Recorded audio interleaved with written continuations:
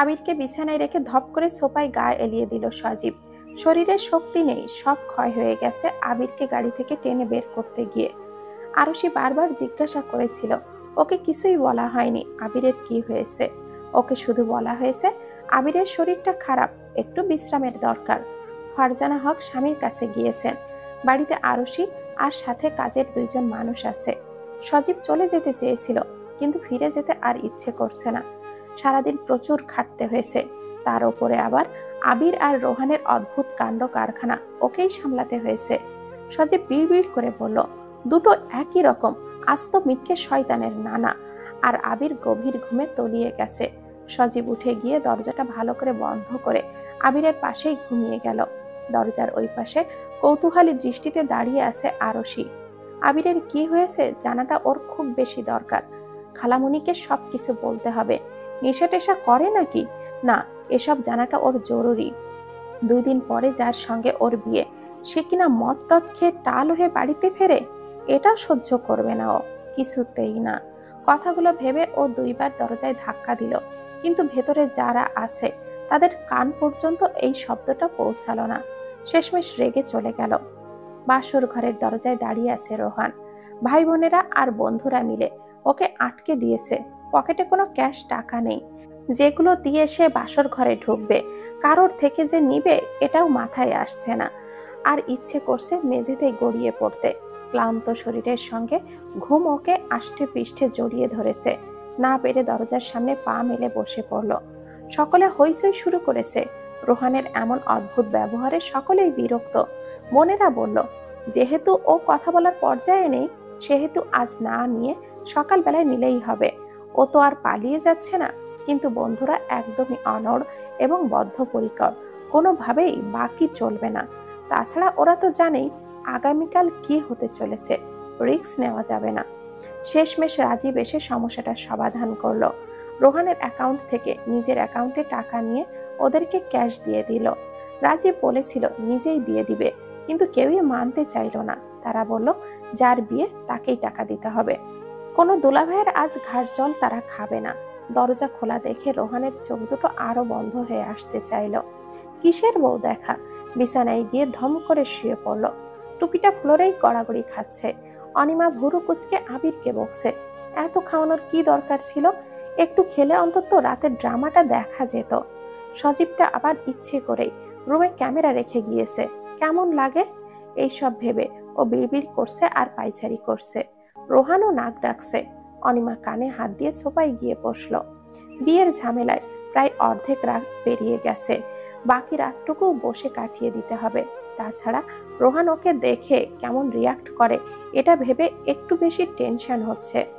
রোহান যদি না মানে লোকজন জানাজানি হবে, সম্মান যাবে, এই সব চিন্তা করতে করতে ওর চোখ দুটো বন্ধ হয়ে আসলো। অনিমার ঘুম ভাঙলো পরের দিন সকালবেলায়।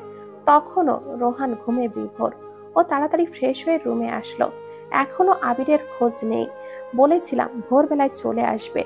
আর রোহানেরও কি আকেল দেখো, মেজাজটা খারাপ হয়ে যাচ্ছে। অনিমা অনেক ভেবে চিনতে রোহানের পাশে গিয়ে বসল। আস্তে করে ওর কাঁধে ধাক্কা দিয়ে বলল, রোহান, আর কত ঘুমাবে? ওঠো না, প্লিজ। রোহান অনিমার হাত ছাড়া দিয়ে সরিয়ে দিয়ে নড়াচড়া করে পাশ ফিরে ঘুমিয়ে গেল। অনিমা হতাশ হলো। রেগে গিয়ে দুই হাত দিয়ে রোহানের গলা চেপে ধরতে গিয়েও হাতটা ফিরিয়ে আনলো। এভাবে হবে না ভেবে টেবিলের উপরে থেকে পানির গ্লাসটা নিয়ে রোহানের চোখে মুখে ছিটিয়ে দিল। রোহান ঘুমের মধ্যেই হাত দিয়ে মুখটা মুছে নিয়ে আবারও ঘুম। ওর মেজাজটা এবার চরম খারাপ হচ্ছে। হুট করে জগ পূর্ণ পানি রোহানের মুখের উপরে ঢেলে দিল। রোহান এবার হুড়মুড় করে উঠে বসল। মনে হলো আকাশ থেকে যেন ও পড়েছে। চারপাশে অবাক দৃষ্টিতে তাকিয়ে সোজাসুজি অনিমার দিকে তাকিয়ে হুড়মুড় করে বিছানা থেকে পড়ে গেল। সবকিছু মাথার উপর দিয়ে যাচ্ছে। এই মেয়েটা এখানে কি করছে? ও কিছুতেই কিছু বুঝতে পারছে না। অনিমার গায়ে লাল রঙের একটা সুতি সিল্কের শাড়ি। মেয়েটা ঘোমটা টেনে লজ্জা লজ্জা মুখে বলল, সরি বেবি, কতক্ষণ অপেক্ষা করছি তোমার জন্য? এই তোমার ওঠার সময় হলো। আমি কিন্তু ভীষণ রাগ করেছি। রোহানের কান আর চোখ দিয়ে যেন ধোয়া উঠছে। বুকের মধ্যে হাতুড়ি পিটাচ্ছে। অনিমা এখানে কীভাবে আসলো ও বুঝতেই পারছে না। আশেপাশে তাকিয়ে আরেকজনকে খোঁজার চেষ্টা করছে। অনিমা বুঝতে পেরে ভুরু কুচকে বলল, তোমার বউ সামনে, রোহান, তুমি কাকে খোঁজ করছ? আমাকে পছন্দ হয়নি বুঝি? রোহান মেজাজটা ঠিক রাখতে পারছে না। মনে হলো অনিমার কথাবার্তা ন্যাকামির চরম মাত্রা অতিক্রম করছে। বেহুদা মেয়ে মানুষ। রোহান ফ্লোর থেকে উঠে কাপা কাপা কণ্ঠে বলল তুমি এখানে কি করছ? আমার বউকে ভুল বুঝিয়ে তাড়িয়ে দিয়েছ, তাই না? আমি কখনো তোমাকে মেনে নিব না। কখনো না মানে কখনো না। বের হও এক্ষুনি আমার বাড়ি থেকে। অনিমা সামান্য কেঁপে উঠল, তবে সাহস হারালো না। ওষ্টে হাসি এনে বলল, বেবি, আমি কিন্তু একা আসিনি? তোমার আম্মু আমাকে পছন্দ করে ছেলের বউ করে এনেছে। তুমি তো মাল খেয়ে টাল হয়ে রোবট হয়ে গিয়েছিলে। বিয়ের ছবি যদি একটুও খারাপ হয়েছে না, তোমার খবর আছে। রোহান ওর কথার উত্তর করল না। দৌড়ে গিয়ে ওর গলাটা চেপে ধরলো। অনিমা চেষ্টা করছে ছাড়িয়ে নিতে, কিন্তু ওর শক্তির সঙ্গে ও পেরে উঠছে না। মনে হলো প্রাণ বুঝি এক্ষুনি বেরিয়ে গেল। বাঁচার শেষ চেষ্টা হিসাবে রোহানকে ধাক্কা দিয়ে ফেলে দিয়ে হাঁপ ছেড়ে বাঁচল। গ্লাসে পানি ঢেলে ঢকঢক করে খেয়ে হাঁপাতে হাঁপাতে বলল, তুমি মানুষ না, একটা অমানুষ। আমাকে মেরে ফেলবে? তো ফেলো না, বাধা দিব না। তবে মরার আগে তোমাকে দুটো কথা বলতে চাই। সেই সুযোগটা আশা করি আমাকে তুমি অন্তত দেবে। রোহানের রাগ আরও বৃদ্ধি হলো। একে তো ওর সঙ্গে চিট করা হয়েছে, তার উপরে আবার এই মেয়েটা এখন ভনিতা করছে, সহ্য করতে না পেরে ছুটে গিয়ে অনিমার গালে থাপ্পড় বসিয়ে দিল। মেয়েটা ছুটে গিয়ে খাটের সঙ্গে বাড়ি খেয়ে ফ্লোরে পড়ে গেল। কপাল কেটে গেছে, তবে অনিমার সামান্যতম ব্যথা অনুভব হচ্ছে না। চিৎকার করে কাঁদতে ইচ্ছে করছে। তবুও নিজেকে নিয়ন্ত্রণ করে দাঁড়িয়ে অগ্নি দৃষ্টিতে বলল, আমাকে খুন করলে তিল তিল করে যে অর্থ সম্পদের পাহাড় তৈরি করেছিস না, সেই সব ভোগ করার অধিকার কিন্তু হারিয়ে ফেলবি। তোর কি মনে হয়, আমি অবলা স্ত্রীদের মতো তোর সংসার করতে এসেছি? তোর ধারণা ভুল। যে আমার সঙ্গে রাত কাটিয়ে নিজের সন্তানকে খুন করতে চায়, তার সঙ্গে আমি কখনো না।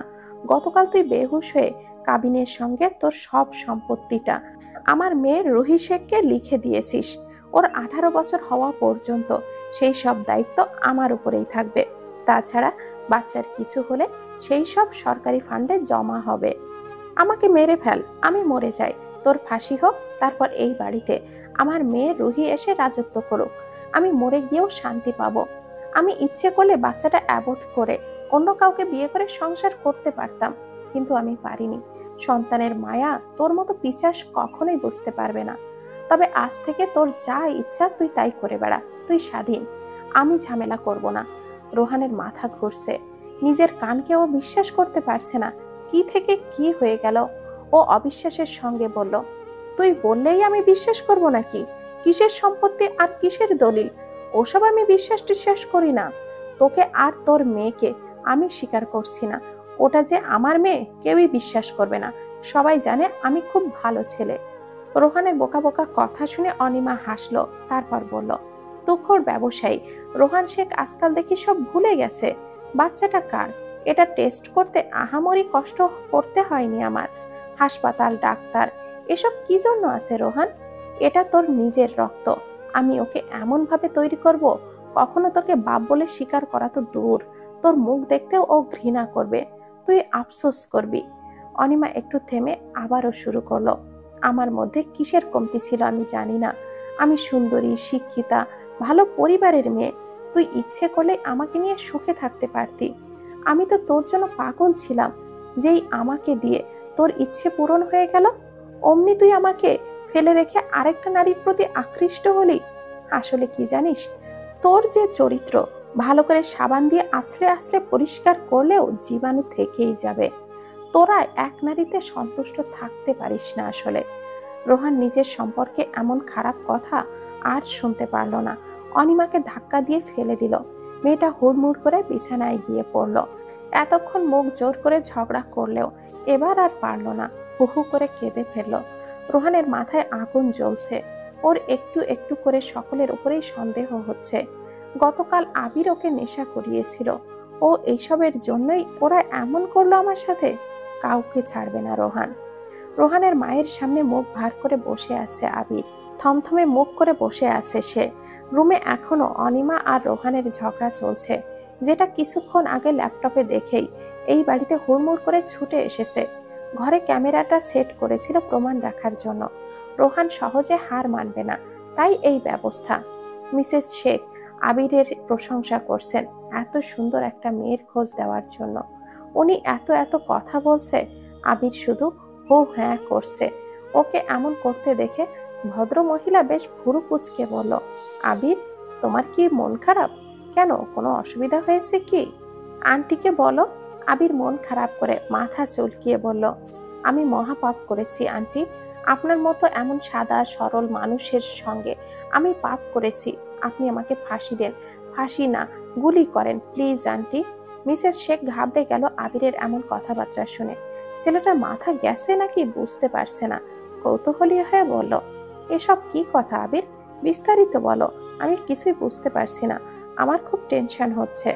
আন্টি, অনি রোহানের পরিচিত। ওরা দুজন দুজনকে পছন্দ করত। কিন্তু মাঝখানে একটা ঝামেলা হয়ে গেছে। রোহান আর অনিমা বাবা মা হয়ে গেছে। ওদের ছয় মাসের একটা কিউট বেবি আছে। বিয়ের আগে বেবি হয়েছে বলে আপনার ছেলে বাচ্চাটাকে মানছে না। আপনি বলুন, এই শেখ বাড়ির ইতিহাসে এমন ঘটনা কি কখনো ঘটেছে? বাড়ির মেয়ে বড় হবে এতিমখানা বা বস্তিতে? শুনেছিলাম, আপনার শ্বশুরের বাবা তার শ্বশুর নাকি জমিদার ছিলেন। জমিদারের রক্ত পথে পথে ঘুরবে। তাই কৌশলে আমি বন্ধুদের সঙ্গে মিলে রোহানকে বাধ্য করেছি বিয়েটা করতে। আপনাকে আগে কিছু বললে আপনি যদি রোহানকে বলে দিতেন, তখন রোহান পালিয়ে যেত। আমার অন্যায় হয়েছে, এবার আমাকে ফাঁসি দিন, প্লিজ দেন। আবির মুখ দিয়ে হাত রেখে কাদার নাটক করে আঙ্গুলের ফাঁক দিয়ে ভদ্র মহিলার মুখের দিকে তাকিয়ে আছে। ভদ্র মহিলার ভাবমূর্তি বোঝার চেষ্টা করছে। এতগুলো কথা নিজের ছেলের সম্পর্কে শুনে সহজে কেউই হজম করতে পারবে না, এটাই স্বাভাবিক। আবির এবার চিন্তা করছে, যদি হার্ট অ্যাটাক হয়ে যায় তখন কি হবে? এই রে, এটা তো কখনো ভাবিনি। ও হন্তদন্ত হয়ে মিসেস শেখের পাশে গিয়ে বসল। উনি এখনও চুপচাপ আছে। কথাগুলো হজম হচ্ছে না হয়তো। আবির উত্তর শোনার আশায় মুখের দিকে তাকিয়ে বসে আছে। কিছুই বলছে না দেখে ভয়ে ভয়ে বলল, প্রমাণ আছে আন্টি, আপনি চাইলে আমি দেখাতে পারি। দেখবেন? ভদ্র মহিলা কিছু না বলে উঠে গেল। আবির ওনার পেছনে পেছনে দৌড় দিল। ওরা একেবারে রোহানের ঘরের সামনে এসে থামলো। সেই মুহূর্তেই রোহান দরজাটা খুলে বেরিয়ে আসলো। ভেতর থেকে কান্নাকাটির আওয়াজ আসছে। আবির সোজা ভেতরে গিয়ে তাড়াতাড়ি করে অনিমাকে তুলে সোপায় বসিয়ে পানি এগিয়ে দিল। কপালে রোমাল ভিজিয়ে মুছে দিতে দিতে বলল, সরি, আসতে দেরি হয়ে গেল। তবে প্রমিস তোর দুঃখ দূর করতে না পারলেও সম্মান ফিরিয়ে দিতে পারব। এই বাড়িতে তোর রাজত্ব কায়েম করিয়ে দিব ইনশাআল্লাহ। অনিমা ফুপিয়ে যাচ্ছে। আবিরকে ও চোখ বন্ধ করে ভরসা করে। অন্যদিকে রোহান মায়ের সামনে মাথা নিচু করে বলল, সব মিথ্যা, আম্মা। ওরা আমার বিরুদ্ধে ষড়যন্ত্র করেছে। ওই বাচ্চাটা আমার না। এই মেয়ে আর ওর বাচ্চাটাকে লাথি দিয়ে বের করে দিব। একটু সময় দাও আমাকে। রোহানের কথা শেষ হলো না। কষিয়ে একটা থাপ্পড় দিলেন উনি। এই বাড়ির বংশধরকে মানতে ওর অসুবিধা হচ্ছে না। তাহলে উনি কেন রোহানকে মানবে? উনি পরপর আরও দুটো থাপ্পড় দিলেন রোহানের গালে। ওকে না মানলে আমিও আর তোমাকে নিজের ছেলে হিসাবে মানছি না। তুমি ওকে মানলে তবেই আমি তোমাকে নিজের ছেলে হিসাবে মানব। এখন ভাবনা চিন্তা করে দেখো কি করবে। দূর হও আমার চোখের সামনে থেকে, কথাটা বলে উনি অনিমার পাশে গিয়ে গম্ভীর কণ্ঠে বলেন বিয়ের আগে এইসব করা একদমই ঠিক না, তবুও তুমি করেছ। ছেলেরা বললেই যে সব করতে হবে কেন বলো তো? ভালোবাসার উপরে ভরসা রাখতে পারো না? তেমন ভালোবাসার দরকারই বা কি ছিল? তোমরা দুজনেই দোষী। মাঝখান থেকে আমার নাতিটা সাজা পাচ্ছে। তোমাদের দুজনকেই আমি ক্ষমা করব না। আবির আমার নাতিকে আনার ব্যবস্থা করো। আমি চাইছি না সে দাদা বাড়ি ছেড়ে পরের বাড়িতে বেড়ে উঠুক। আবিরের ওষ্ঠে ফুটে উঠল হাসি। ঝামেলা মোটামুটি শেষ। রোহান যা ইচ্ছা তাই করুক, সমস্যা নেই। ওর নামের সম্পত্তির সবটাই উকিল ডেকে বিয়ের রেজিস্ট্রির সঙ্গে মেয়ের নামে রেজিস্ট্রি হয়ে গেছে। ও চাইলেও বাচ্চা বা অনিমার ক্ষতি করতে পারবে না। কথাগুলো ভেবে ও মনির হেসে উঠল। সজীব গাড়িতে বসে ভিডিও দেখছে। আবির হন্তদন্ত হয়ে ওর পাশে গিয়ে বসল। গাড়ির সিটে বসে হেলান দিয়ে চোখটা বন্ধ করল। পরিকল্পনা সফল হয়েছে সজীব। রোহান বিয়েটা অবশেষে হলো। এবার আমার পালা। তোর বাসায় যে মেয়েটা আছে না, ওর সঙ্গে আমার পাকা দেখা করিয়ে দে না ভাই। বিয়ে করে সংসার করি। আবির চোখ বন্ধ রেখেই বলল, ওটা মেয়ে না রে, অগ্নিগিরির লাভা। তোকে পুড়িয়ে দিবে। মাঝে মাঝে পড়তেও ভালো লাগে। তাহলে আর কি, ঘন ঘন আবিরের বাড়িতে ঘুরঘুর কর, লাভ কিছুই হবে না ওর শকুনের দৃষ্টি। আগেই আবিরের উপরে পড়েছে। আবির পালাবে এবার, বুঝলি? সজীব মাথা নাড়িয়ে স্মিত হেসে তাকিয়ে রইল ওর দিকে। সত্যি? আবির ওর কথার কোনো উত্তর দিল না। এই মুহূর্তে খুব জান্নাতকে দেখতে মন চাইছে। ফোনটা বের করে ফোনের ছবিতে ঠোঁটের স্পর্শ দিয়ে গাড়ি ছাড়ল। সজীব চুপচাপ বসেছিল ওর চোখে মুখে কৌতূহল। ডাক্তারের সামনে বসে আছে আবির। দুই দিন ওর বাবার শরীরটা বেশ সুস্থ হয়ে উঠেছে। কথা বলতে না পারলেও হাঁটতে চলতে পারছে। ওনার কণ্ঠনালীতে সমস্যা হয়েছে, তবে ক্রমান্বয়ে ঠিক হয়ে যাবে সেটা। বাবাকে বাড়িতে নিয়ে যাওয়া নিয়ে বেশ চিন্তিত হচ্ছে সে। যে বা যারা এর সঙ্গে জড়িয়ে আছে, ওরা যদি ঠিক পায়, তবে আবারও আক্রমণের চেষ্টা করবে। সেটা কিছুতেই হতে দেবে না আবির। দরকার হলে বাবার সঙ্গে একজন লোক রাখবে। সজীবকে দিয়ে জান্নাতকে দেখতে যাওয়ার সময় হঠাৎই ফোন এসেছিল, তাই হন্তদন্ত হয়ে এখানে ছুটে এসেছে। তবে এটাই স্বস্তি যে উনি ঠিক আছে। ডাক্তার বললেন, উনি বাড়িতে গেলে আরও ভালো হয়ে যাবে তাড়াতাড়ি। হাসপাতালে দীর্ঘদিন ধরে আছে, বাড়িতে ফিরলে দ্রুত সুস্থ হতে পারবে। আবির ডাক্তারের কথায় বাধ্য হয়ে রিলিজ করে নিল। অরিন আর আরাফাত সঙ্গেই আছে। ওদের সহযোগিতায় আবির বাবাকে নিয়ে বাড়িতে ফিরে আসলো। ফারজানা হকের খুশির সীমা নেই। কতদিন পরে লোকটা বাড়িতে ফিরছে। আবির মাকে বুঝিয়ে দিল, কিছুতেই বাবাকে নজরের বাইরে রাখা যাবে না। রুমে সিসি ক্যামেরা সেট করে দিল, তবে এটা অতি গোপনে রাখল। সব ঠিকঠাক করে রুম থেকে বাইরে আসতেই আরাফাতের সঙ্গে ওর দেখা হলো। আবির ভুরু কুচকে বলল, মুখটা এরকম কেন ভাইয়া? কিছু বলবেন? আরাফাত মলিন হেসে বলল, বাড়ি ফিরতে হবে। আমি চাইছিলাম অরিনকে সাথে নিয়ে যেতে। আমা বারবারই বলছেন, উনি কেমন মানুষ, তুমি তো ভালো করেই জানো। আবিরের ওষ্ঠে হাসি ফুটিয়ে বলল, আপনার স্ত্রীকে আপনি নিয়ে যাবেন, এতে অনুমতির কি আছে? তাছাড়া ভাইয়া, আমিও আপনার সঙ্গে একমত। মন দিয়ে ও সংসার করুক, এসব ঝামেলা আমি সামলে নিব। আরাফাত লাজুক হেসে বলল, সংসার করার সময় তো আর চলে যাচ্ছে না। সময় হলে সব হবে। তার আগে বলো, রোহানের সঙ্গে তোমার কি হয়েছে? আর ওর সাথে কি করেছ? বড় ভাবির মুখটা কেমন যেন গম্ভীর হয়ে আছে। রোহান বাড়ি ছাড়া। তাছাড়া বাচ্চার বিষয়টা আমার বোধগম্য হচ্ছে না। আবির শব্দ করে হেসে ফেলল দারুণ মজা পেয়েছে রোহানকে বোকা বানিয়ে। ওর খুব অহংকার ছিল নিজেকে। মাত্রাতিরিক্ত চতুর ভাবত সে নিজেকে। সব বুড়িয়ে দিয়েছে আবির। আরাফাত মুগ্ধ হয়ে আবিরের হাসি দেখছে। ছেলেটা যে কিছু একটা অঘটন ঘটিয়েছে এটা সন্দেহ নেই। আবির হাসি থামিয়ে ওকে প্রথম থেকে শেষ পর্যন্ত সংক্ষেপে বলে দিল, আরাফাত হতবাক। রোহান যে এমন চরিত্রের আগে কখনো ভাবেনি। ওপর থেকে সত্যি মানুষ চেনা যায় না। মানুষ চেনা সহজও নয়। আবিরের কথাই ওর ধ্যান ভাঙল, ভাইয়া, আমি একটু আসছি। দরকারি কাজ আছে।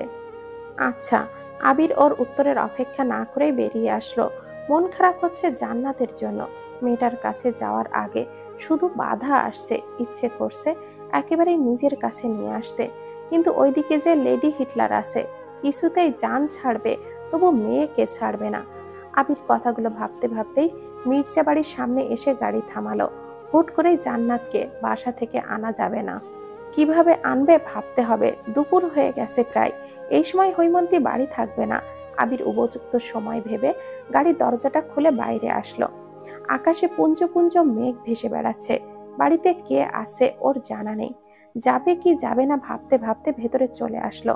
এক পা দু পা করে ভেতরে গিয়ে ওর চোখ তো চড়ক গাছ, মেইন দরজাটা খোলাই রয়েছে, তাই আবির ভেতরে আসতে কোনো সমস্যা হয়নি। জান্নাত আপেল কাটার ছুরি নিয়ে খেলছে। ওর হাতের কিছুটা কেটে গিয়ে রক্ত ঝরছে, কিন্তু মেয়েটা সেসব বুঝতেই পারছে না। সামনে থাকা ছুরি দিয়ে আপেলটা ক্রমাগত কোপাচ্ছে। আশেপাশে কেউ নেই। আমিনা বেগমের দরজা খোলা আছে। ভদ্রমহিলা উকি দিয়ে দিয়ে দেখছে। আবির দৌড়ে গিয়ে মেয়ের হাত থেকে ছুরিটা ফেলে দিয়ে ওকে কোলে তুলে নিল। আবিরকে দেখে জান্নাতের ঠোঁটে হাসি ফুটে উঠল। হাত কাটা অংশটা দেখে ইশারা করছে ফু দিয়ে দিতে, ব্যথা কমিয়ে দেওয়ার জন্য। আবির ওর হাতটা নিয়ে সামান্য ফু দিয়ে চুমু এঁকে দিল। ঠিক তখনই আমেনা বেগম ছুটে এসে ঝাঁঝালো কণ্ঠে বলল, ওকে ধরলে কেন? তুমি হঠাৎ এই বাড়িতে কেন? কি করছ বলো? আবির থতমত খেয়ে ভদ্রমহিলার আগে সবটা মনে আছে তাহলে, তবে ওর এখন ভয় না, রাগ হচ্ছে। মেয়েটার হাতে ছুরি দেখে উনি চুপচাপ দেখছে। আবির এবার চুপচাপ থাকতে দেখে তিনি আবারও বললেন, কি হলো? উত্তর দাও। হৈমন্তীর সঙ্গে তোমার যোগাযোগ আছে, তাই না? আর এই বাচ্চার বাপটাকে আমাকে কিছু বলা হচ্ছে না কেন? আবির বুঝতে পারল। হৈমি আমেনা বেগমকে কিছুই বলেনি। কথাটা ভেবে ওর মাথায় চট করে একটা দুষ্টু বুদ্ধি খেলে গেল। মুখে লজ্জা লজ্জা ভাব এনে বলল, শাশুড়ি আম্মা, মেয়েটা আমার নিজের। বিশ্বাস না হলে কাগজপত্র দেখাতে পারি। একদম বৈধভাবে মেয়ের বাবা হয়েছি। এতে কোনো দুই নাম্বারই নেই। আমেনা বেগমের মেজাজটা যেন খারাপ হচ্ছে। রোহানের কাণ্ড কীর্তি ওনার কানে এসেছে। কি যুগ এসে গেছে? সব বিয়ের আগেই বাচ্চার বাপ মা হয়ে যাচ্ছে? উনি লজ্জায় মরে যাচ্ছেন। সেই সঙ্গে সমাজ সংস্কারের উপরে ধিক্কার জানাচ্ছেন। আবির কিছু ভেবে ভুরু কুচকে মুখ কঠিন করে বলল, ওকে আমি নিয়ে যাচ্ছি। আমি একটু দেরিতে আসলে এতক্ষণে কি হতো আল্লাহই ভালো জানে। আপনি ঝগড়া ছাড়া কিছু করতে পারেন বলে তো আমার মনে হচ্ছে না। আমার মেয়ের কিছু হলে বুঝতেন। আপনার এই তিরিং বিরিং ঝগড়া করার মজা, বুঝেছেন? সামনে নির্বাচন। আপনাকে আমি নিজ দায়িত্বে এমপি বানাবো ভাবছি। সংসদ থেকে শুরু করে দেশটাও কাঁপিয়ে দিতে পারবেন। আন্তর্জাতিক সম্পদ আপনি, আপনাকে ঘরে রেখে দেশের ক্ষতি করতে পারব না। আসছি এখন। আবির আমেনা বেগমকে কথা বলার কোনো সুযোগ না দিয়ে দৌড়ে বেরিয়ে আসলো। এখানে থাকলেই বিপদ। ভদ্র মহিলা এবার বাড়িতে তুফান তুলবে। তাতে ওর কি? ওই হৈমন্তীর ওপর দিয়েই সব তুফান প্রবাহিত হবে। এটাই ওর শাস্তি। মেয়েকে না নিয়ে কাজের লোকের ভরসাতে রেখে বাইরে গিয়েছে? কত বড় সাহস তার। বাড়িতে ফিরলে বুঝবে মজা। আবির কিছু বলতে পারে না, কিন্তু আমেনা বেগম তো বলতে পারবে। মেয়েকে একা ছিল, এটা ভেবেই যেন রাগ হচ্ছে আবিরের। গাড়িতে বসে সেক্রেটারি জাবেদকে বলে দিল খাবার তৈরি করতে। ও এক্ষুনি অফিসে আসবে। তাছাড়া মেয়েকে নিয়ে একটু ঘুরতে বের হবে। আবির জান্নাতের কাটা হাতটা ভালো করে পরিষ্কার করে দিয়েছে। সামান্য কেটেছে, কিন্তু রক্তটা বের হয়েছে বেশ খানিকটা। আবির বারবার মেয়ের হাতটা ঠোঁটে স্পর্শ করছে। এক হাতে ওকে জড়িয়ে রেখে আরেক হাত দিয়ে ড্রাইভ করছে। জান্নাত অবাক চোখে আশপাশটা দেখছে। আবির বারবার মেয়ের মুখের দিকে তাকিয়ে দেখছে। দিন দিন এমন হচ্ছে, মেয়েটাকে ছেড়ে থাকতে ওর খুব কষ্ট হয়ে যাচ্ছে। এত মায়া মেয়েটার মুখে ভুলে থাকা কষ্টের। আজকের দিনটা মেয়েটাকে নিজের কাছে রাখলে মন্দ হবে না। কথাটা ভেবে ও সিদ্ধান্ত নিল। মেয়েকে আজও কোথাও পাঠাবে না, নিজের কাছেই রাখবে। থমথমে মুখ করে বসে আছে রোহান। মন মেজাজ ভালো নেই। মায়ের হাতে জীবনে প্রথমবার থাপ্পড় খেয়েছে। সেই দুঃখে মরে যেতে মন চাইছে। তাছাড়া এই খবরটা বোন দুলাভাই থেকে শুরু করে নিকটবর্তী সব আত্মীয়দের ঘরে ঘরে পৌঁছে গিয়েছে।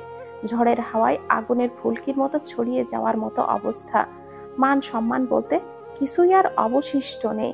কিন্তু যাকে কেন্দ্র করে এত কিছু, সেই মেয়েটা ঠিকই বাড়ির মধ্যমণি হয়ে ঘুরছে। মেয়েটাকে সকালবেলায় অনিমার ভাই দিয়ে গিয়েছে। আজ অনুষ্ঠানের কথা ছিল, কিন্তু হচ্ছে না। সবাইকে মানা করা হয়েছে। বাড়ির পরিস্থিতি স্বাভাবিক হলে কোনো একটা উপলক্ষ অনুষ্ঠান করা যাবে। রুহিকে পেয়ে সকলেই মোটামুটি বেশ খুশি হয়েছে, শুধুমাত্র রোহান ছাড়া। ভেবেছিল সব মিথ্যা প্রমাণ করে ফেলবে সে, কিন্তু তেমন কোনো পথই আর খালি নেই। অনিমা সব প্রমাণ নিয়েই হাজির হয়েছে। আবির আর ওর বন্ধুরা সবাই অনিমাকে সাহায্য করেছে ভেবেই রাগ আরও বাড়ছে। এরকম বন্ধু থাকলে শত্রুর আর দরকার হবে না। কত যত্ন করে বাস দিল, রোহান আজীবন মনে রাখবে। সকালবেলায় বাইরে বের হয়ে গিয়েছিল, কিন্তু এখন আবারও ফিরে আসতে হলো। মায়ের ফোন পে আর অপেক্ষা করেনি। ইচ্ছে না থাকলেও অনিমার সঙ্গেই থাকতে হবে। সুখে থাকার অভিনয় করাটা ভীষণ কষ্টের। সময় খারাপ যাচ্ছে, মাথাটা ঠান্ডা রাখাটা বেশি জরুরি। অনিমা ওকে আশেপাশেও ঘেসতে দিবে না, এটা ওর অভ্যাস শিওর। মেয়েদের মন থেকে একবার বের হয়ে গেলে সেখানে ফিরে যাওয়াটা বেশ কঠিন, নয়তো ভুলিয়ে ভালিয়ে সব আদায় করা যেত। অফিসে পা তুলে বসে আছে ফরহাদ। দুই দিন আগে কানে এসেছে, হৈমন্তী ফিরে এসেছে। কিন্তু সমস্যা হচ্ছে মেয়েটা একটা বাচ্চা নিয়ে ফিরেছে। বাচ্চারা কার? এটা ওর বোধগম্য হচ্ছে না। মেয়েটা গিয়েছিল একা আর ফিরল ডাবল হয়ে। আবার বিয়ে করেছে বলে তো তেমন কোনো নিউজও পাচ্ছে না। বিশ্বস্ত একজন চরকে দিয়ে খবর এনেছে, বিয়ে হলে নিশ্চয় বরকে সঙ্গে আনতো, নাকি অন্য কারোর বাচ্চা? হৈমন্তীর নরম স্বভাবের কথা ফরহাদের জানা আছে নিশ্চয় কারোর বাচ্চা পালছে। কথাটা ভেবে ফরহাদের কপালে ভাঁজ পড়ে গেল। ফাজিল মেয়ে, নিজের বাচ্চাটাকে ভাইকে দিয়ে এখন পরের বাচ্চাটা পালছে? ফরহাদ ওকে ছাড়বে না। একবার হাতে পেলে ওকে ঘরবন্দি করে রাখবে। ওর হাত থেকে মুক্তি পাওয়া কি এতই সহজ? ও যত্ন নিয়ে হৈমন্তীর সকল খারাপ গুণগুলো শুধরে দিবে। পাখি খুব উড়াউড়ি করছে, আর করতে দেওয়া যাবে না। খুব তাড়াতাড়ি ওকে নিজের কাছে নিয়ে আসবে। এমনভাবে লুকিয়ে রাখবে, পৃথিবীর কেউই আর ওকে খুঁজে পাবে না। হৈমন্তীকে নিয়ে আসবে, তবে রনির বিষয়ে একটু ভাবনা আছে। রাজীবের ছেলে মেয়ে নেই। ওর সম্পত্তি হাতিয়ে নেওয়ার মাধ্যম হচ্ছে রনি। কথাই বলে, রক্ত রক্তকে চিনতে ভুল করে না। বড় হয়ে রনি যখন জানবে, রাজীব ওর বাবা না, তখন ও নিজ দায়িত্বে ফরহাদের কাছে ধরা দিবে। সেই দিনের অপেক্ষাও নিশ্চয়ই করবে। কিন্তু হৈমন্তীকে তো ছাড়লে চলবে না। লতার প্রেমে অন্ধ না হলে মেয়েটা ওর পায়ের কাছেই পড়ে থাকতো। কথাটা ভেবে লতার উপরে ওর রাগ হচ্ছে। ফরহাদ অস্থির হয়ে অফিস থেকে বেরি হয়ে গেল। শাশুড়ি শাইলা বানুর সঙ্গে তুমুল ঝগড়া চলছে লতার।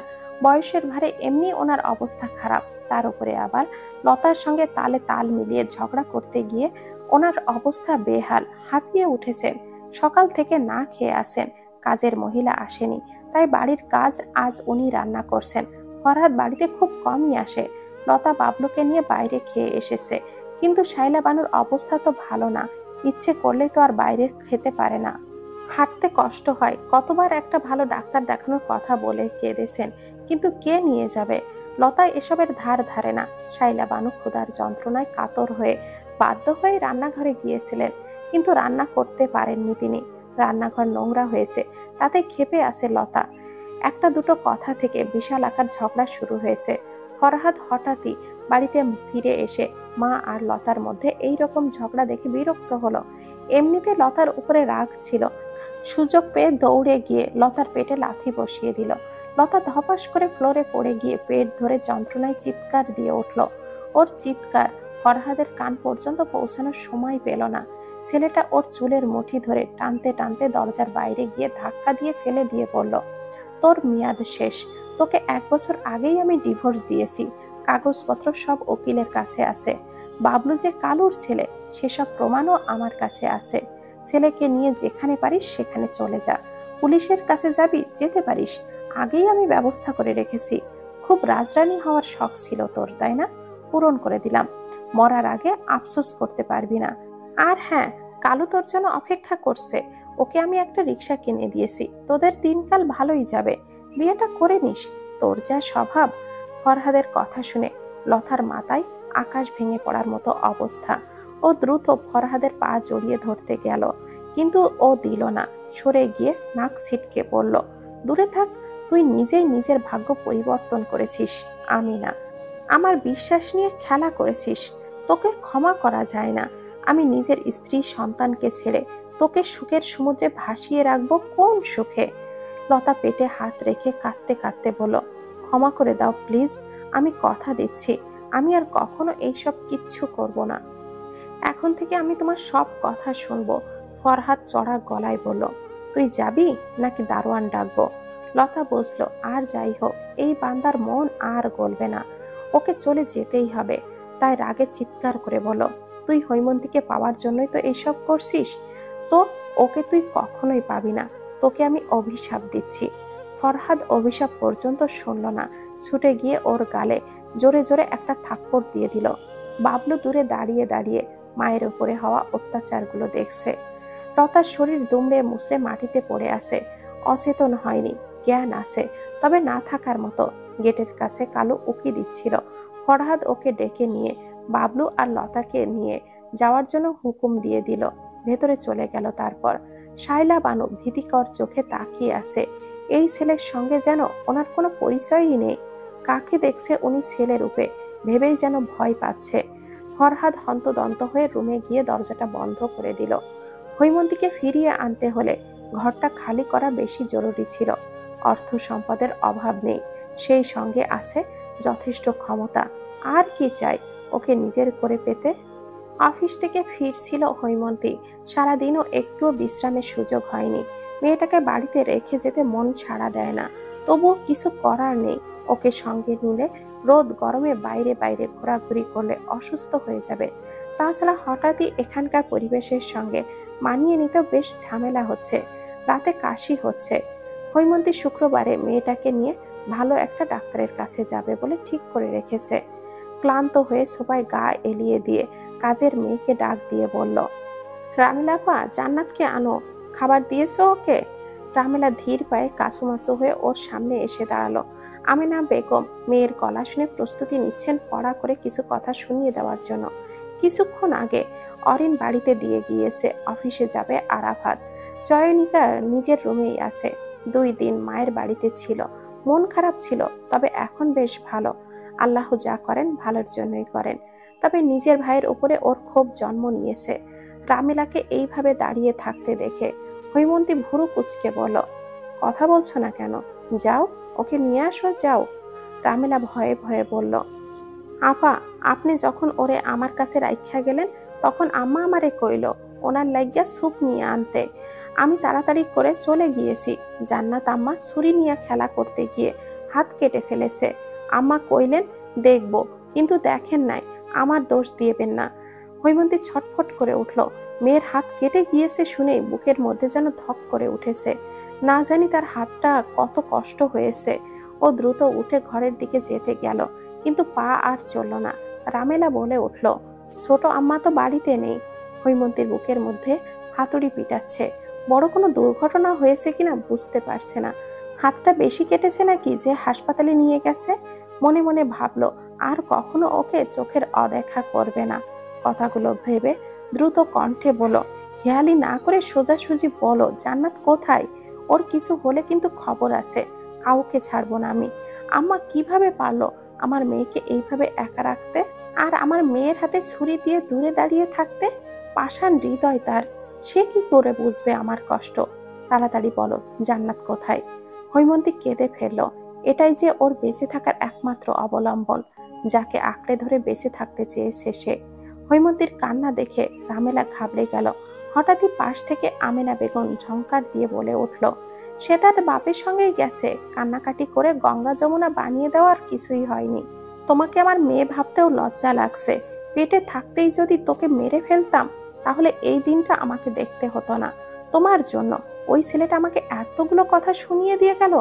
কত বড় সাহস হলে সে আমাকে বলে, আমি নাকি সংসার থেকে শুরু করে দেশ পর্যন্ত কাঁপিয়ে দিতে পারি? সেই ক্ষমতা আমার আছে। তার মেয়ের কিছু হলে আমার নাকি তিরিং মিরিং ঝগড়া করা বের করে দিবে, হুমকি দিয়েছে। আরও কতগুলো আজে বাজে কথা বলে গিয়েছে, বড়দের সম্মান করতে জানে না বেহায়া ছেলে কোথাকার। আমেনা বেগম একদমই কথাগুলো বলে থামলো। হৈমন্তী বুঝতে পারল না কথাগুলো কে বলেছে। উনি জিজ্ঞাসনু দৃষ্টিতে রামেলার দিকে তাকাতে রামেলা প্রথম দেখে শেষ পর্যন্ত সব কিছু বলে দিল। হৈমন্তী স্বস্তির নিঃশ্বাস পেল যেন। এটা ভেবে যে জান্নাত আবিরের কাছেই আছে। আমিনা বেগমের কথাগুলো শুনে ওর খারাপ লাগছে না, বরং মজাই লাগল। আবির উত্তম মাধ্যম দিয়ে গেছে, বেচারা সেটা হজম করতে পারছে না বলে রাগে ফুসছে হইসই দেখে চয়নিকা আর অরিন নিচে নেমে আসে। ওরা শুনেছে কথাগুলো, তবে একটা বিষয় ওদের খুব ভাবাচ্ছে। আবির কেন মেয়েটাকে নিজের মেয়ে বলছে? তাছাড়া মেয়েটা ওর কাছে কেমন শান্ত হয়ে থাকে? চয়নিকা সুযোগ পেয়ে বলল, হৈমি তুমি জান্নাতকে বাড়িতে একা রেখে গিয়েছিলে, আমাকে বলবে না? তোমার সাহস দেখে সত্যি আমি হতবাক। দুই দিন আগেও মেয়েটা বাইরে চলে গিয়েছিল। আবির নিয়ে গিয়ে বিকেলে আবার দিয়ে গেছে। আচ্ছা আবিরের সঙ্গে তোমার কি কোনো যোগাযোগ আছে? হৈমন্তী এবার ঢোক গিলে বলল, যোগাযোগ নেই ভাবি, সেদিন দেখা হলো, আমাকে চিনতেও পর্যন্ত পারল না। তাহলে কিসের কি? চয়নিকা বিষয়টা চিন্তা করল। আমেনা বেগম এখনও বকবক করছে। হৈমন্তী এবার ভুরু কুচকে বলল, আম্মা, তুমি আমাকে দেখতে পারো না, ঠিক আছে তাই বলে ছোট্ট একটা মেয়েটার ক্ষতি করতে তুমি চাইবে? উনি না আসলে কি হতো বলো তো? আমার প্রশ্নের আমি উত্তর পাইনি। ওই ছেলের সঙ্গে তোর কিসের সম্পর্ক? জান্নাতের বাপ, তাই না ও? সি, আমি সত্যিটাই অনুমান করেছি। ভেবেছিলাম ফরাহাদের সঙ্গে সব মিটমাট করে তোর নিজের ঘরে ফিরিয়ে দিব। তার আগে তুই এইসব করেছিস? হৈমন্তীর এবার মেজাজটা খারাপ হচ্ছে। কথা হচ্ছে আবিরকে নিয়ে। সেখানে ফরহাদকে টানাটানি করার কি দরকার আছে? শয়তানের নাম নিয়ে ডাকাডাকি করে তাকে হাজির করার মানেটা হয় না। হৈমন্তী দাঁতে দাঁত রেখে ফিসফিস করে বলল, এটা আমার আর মিস্টার আবিরের মেয়ে। শুনেছ? এখন তোমার যা ইচ্ছা তাই করো। হৈমন্তী গট গট করে হেঁটে চলে আসলো। অরিন ওর পেছনে পেছনে আসলো। ওর চোখে মুখে শুধু জিজ্ঞাসূন্য চিহ্ন। তবে চয়নিকা একটুও ওর শাশুড়ির কথাবার্তা বিশ্বাস করে না। ওর মতে এই ভদ্র মহিলা তিল থেকে তাল বানাতে ওস্তাদ। তাছাড়া বাচ্চাটা বেশ কিউট, যে কেউই পছন্দ করবে। মেয়েটার উপরে আবিরের মায়া জন্মানোটাই স্বাভাবিক। আর ও মাথা ঘামালো না এই বিষয়টা নিয়ে। রনিকে নিয়ে চলে গেল। আমিনা বেগম ফুসছে। ফরহাদ মাঝে মাঝেই ওনাকে ফোন করে খোঁজ খবর নেয়। কি সুন্দর করে আম্মা ডাকে। যান প্রাণ একেবারে ঠান্ডা হয়ে যায়। আর এদিকে এই ছেলেটা ঠোঁটকাটা স্বভাবের, লজ্জা সরমের কোনো বাড়াই নেই। থমথমে মুখ নিয়ে বসে আছে হৈমন্তী। অরিন ওর পাশেই বসে ফিস ফিস করে বলল, ভাইয়া হয়তো তোমার মেয়ে বলে জান্নাতকে নিজের মেয়ে বলছে। জানোই তো ও কেমন পাগলামি করে। প্লিজ কিছু মনে করো না। আমাকে কতগুলো বাজে কথা শুনিয়ে দিল। আমা খুব চটে গেছেন হৈমন্তী রেগে থাকতে পারল না আর। এবার শব্দ করে হেসে ফেলল। মনে মনে ভাবলো এসব আবিরের পক্ষেই সম্ভব। অরিন কৌতূহলী হয়ে জিজ্ঞাসা করল, তুমি রেগে নেই? রাখব কেন? মিস্টার আবির আর যাই করুক, আমার কোনো ক্ষতি করবে না। আমি ওনাকে বিশ্বাস করি। তাছাড়া রোহান ভাইয়ার বিষয়টা নিয়ে ওনার উপরে রাগ করে থাকা যায় না। একটা মেয়েকে কীভাবে রক্ষা করল ভাবো? অরিন এবার হাফ ছেড়ে বাঁচলো। শাশুড়ির সঙ্গে নিজের ভাই বিয়াদবি করেছে। বিষয়টা সবাই ভালো চোখে দেখবে না। শাশুড়ির সামনে যেতে ভয় লাগে। দমটা আটকে আসার মতো অবস্থা। হৈমন্তীর ডাকে ধ্যান ভাঙলো তার। ওনাকে একটু ফোন দিয়ে বলবে মেয়েটাকে দিয়ে যেতে? অরিন প্রশ্ন না করে আবিরকে ফোন করল। প্রথমবারের পরে ফোনটা রিসিভ হলো। অরিন হ্যালো বলার আগেই আবির দাঁত বের করে হেসে বলল, ওইদিকে কি অবস্থা? সব কিছু ঠিকঠাক আছে? শাশুড়ি সাহেবা ভালো আছেন তো?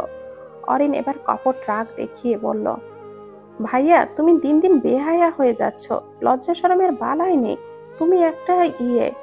আবির এবার শব্দ করে হেসে বলল, ভদ্রমহিলা আমাকে এইসব বলেছে, তাই না? ওনার সঙ্গে আমার বেশ জমবে। শ্বশুর বাড়িতে এবার দেখি ঘন ঘনই আসতে হবে। অরিন ভুরু কুচকে বলল, এমন ভাবসাব করছ, মনে হচ্ছে এটা আমার না, তোমার শ্বশুর বাড়ি শুনো, আমার শ্বশুর বাড়ি তোর ওপরে ভীষণ বিরক্ত। তুমি জান্নাত মামাকে দিয়ে যাও, হৈমি অপেক্ষা করছে।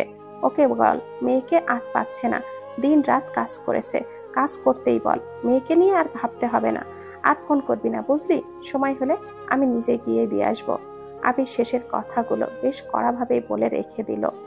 অরিন হতাশ চোখে হৈমন্তীর দিকে তাকিয়ে বলল, কি হবে? হৈমন্তী কিছু ভেবে নিয়ে বলল, কষ্ট করে আজকে রাতটা পার করে ফেলব, চিন্তা করো না, ওনার কাছেই থাক আজকের দিনটা। অরিন উত্তর করল না, রুমে ফিরে আসলো।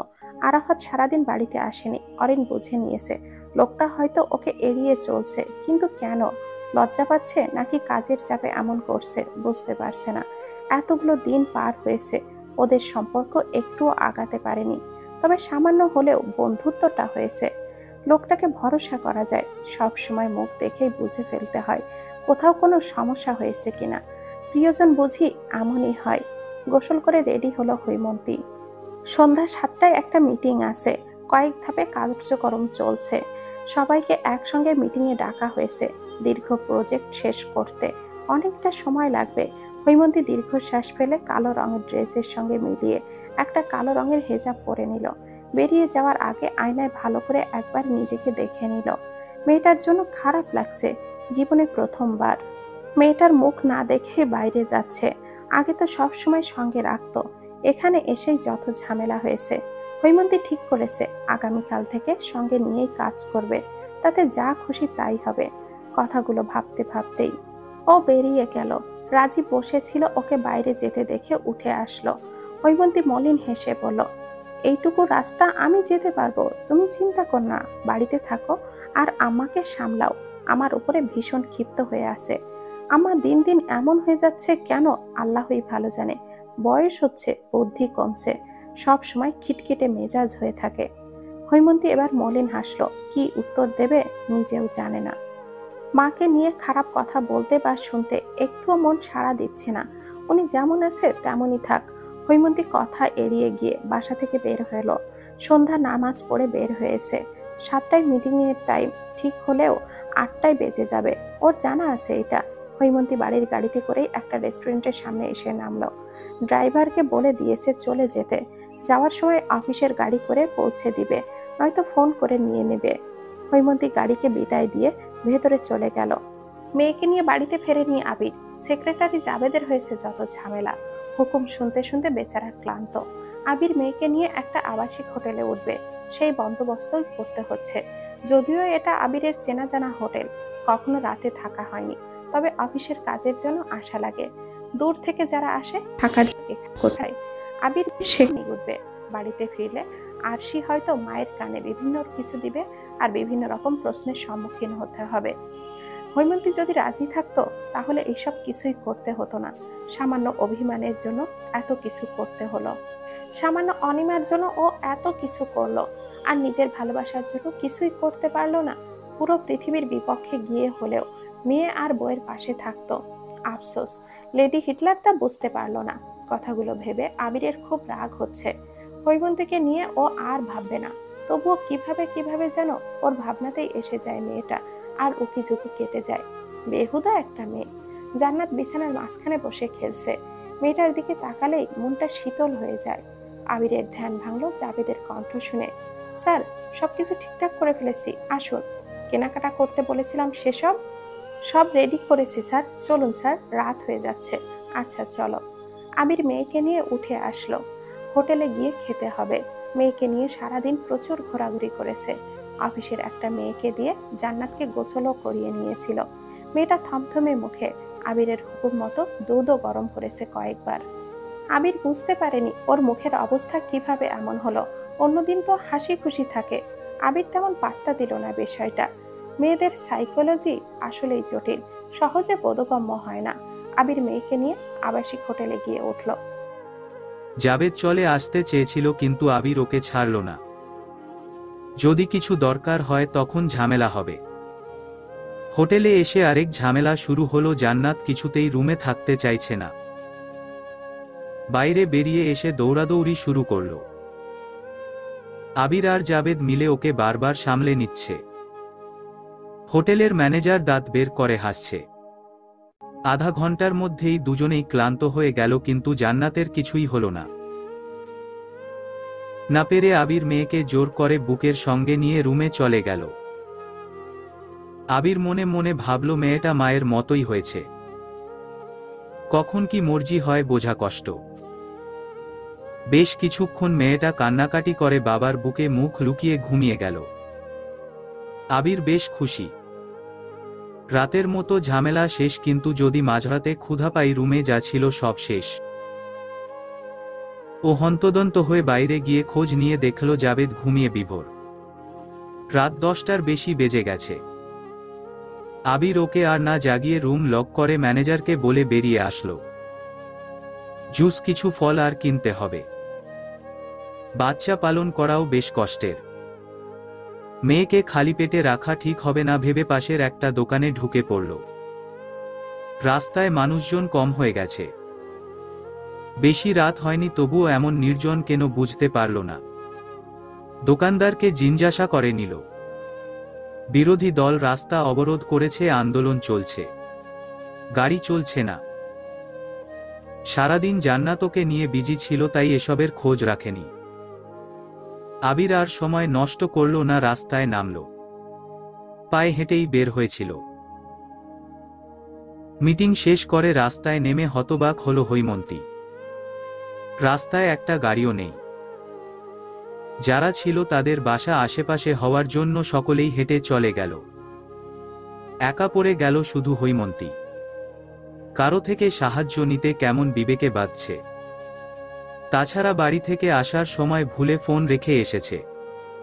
ভাবল সামনে এগিয়ে গেলে কোনো গাড়ি নিশ্চয় পাবে। রাস্তা অবরোধ হয়েছে, কথাটা কিছুক্ষণ আগে শুনেছে।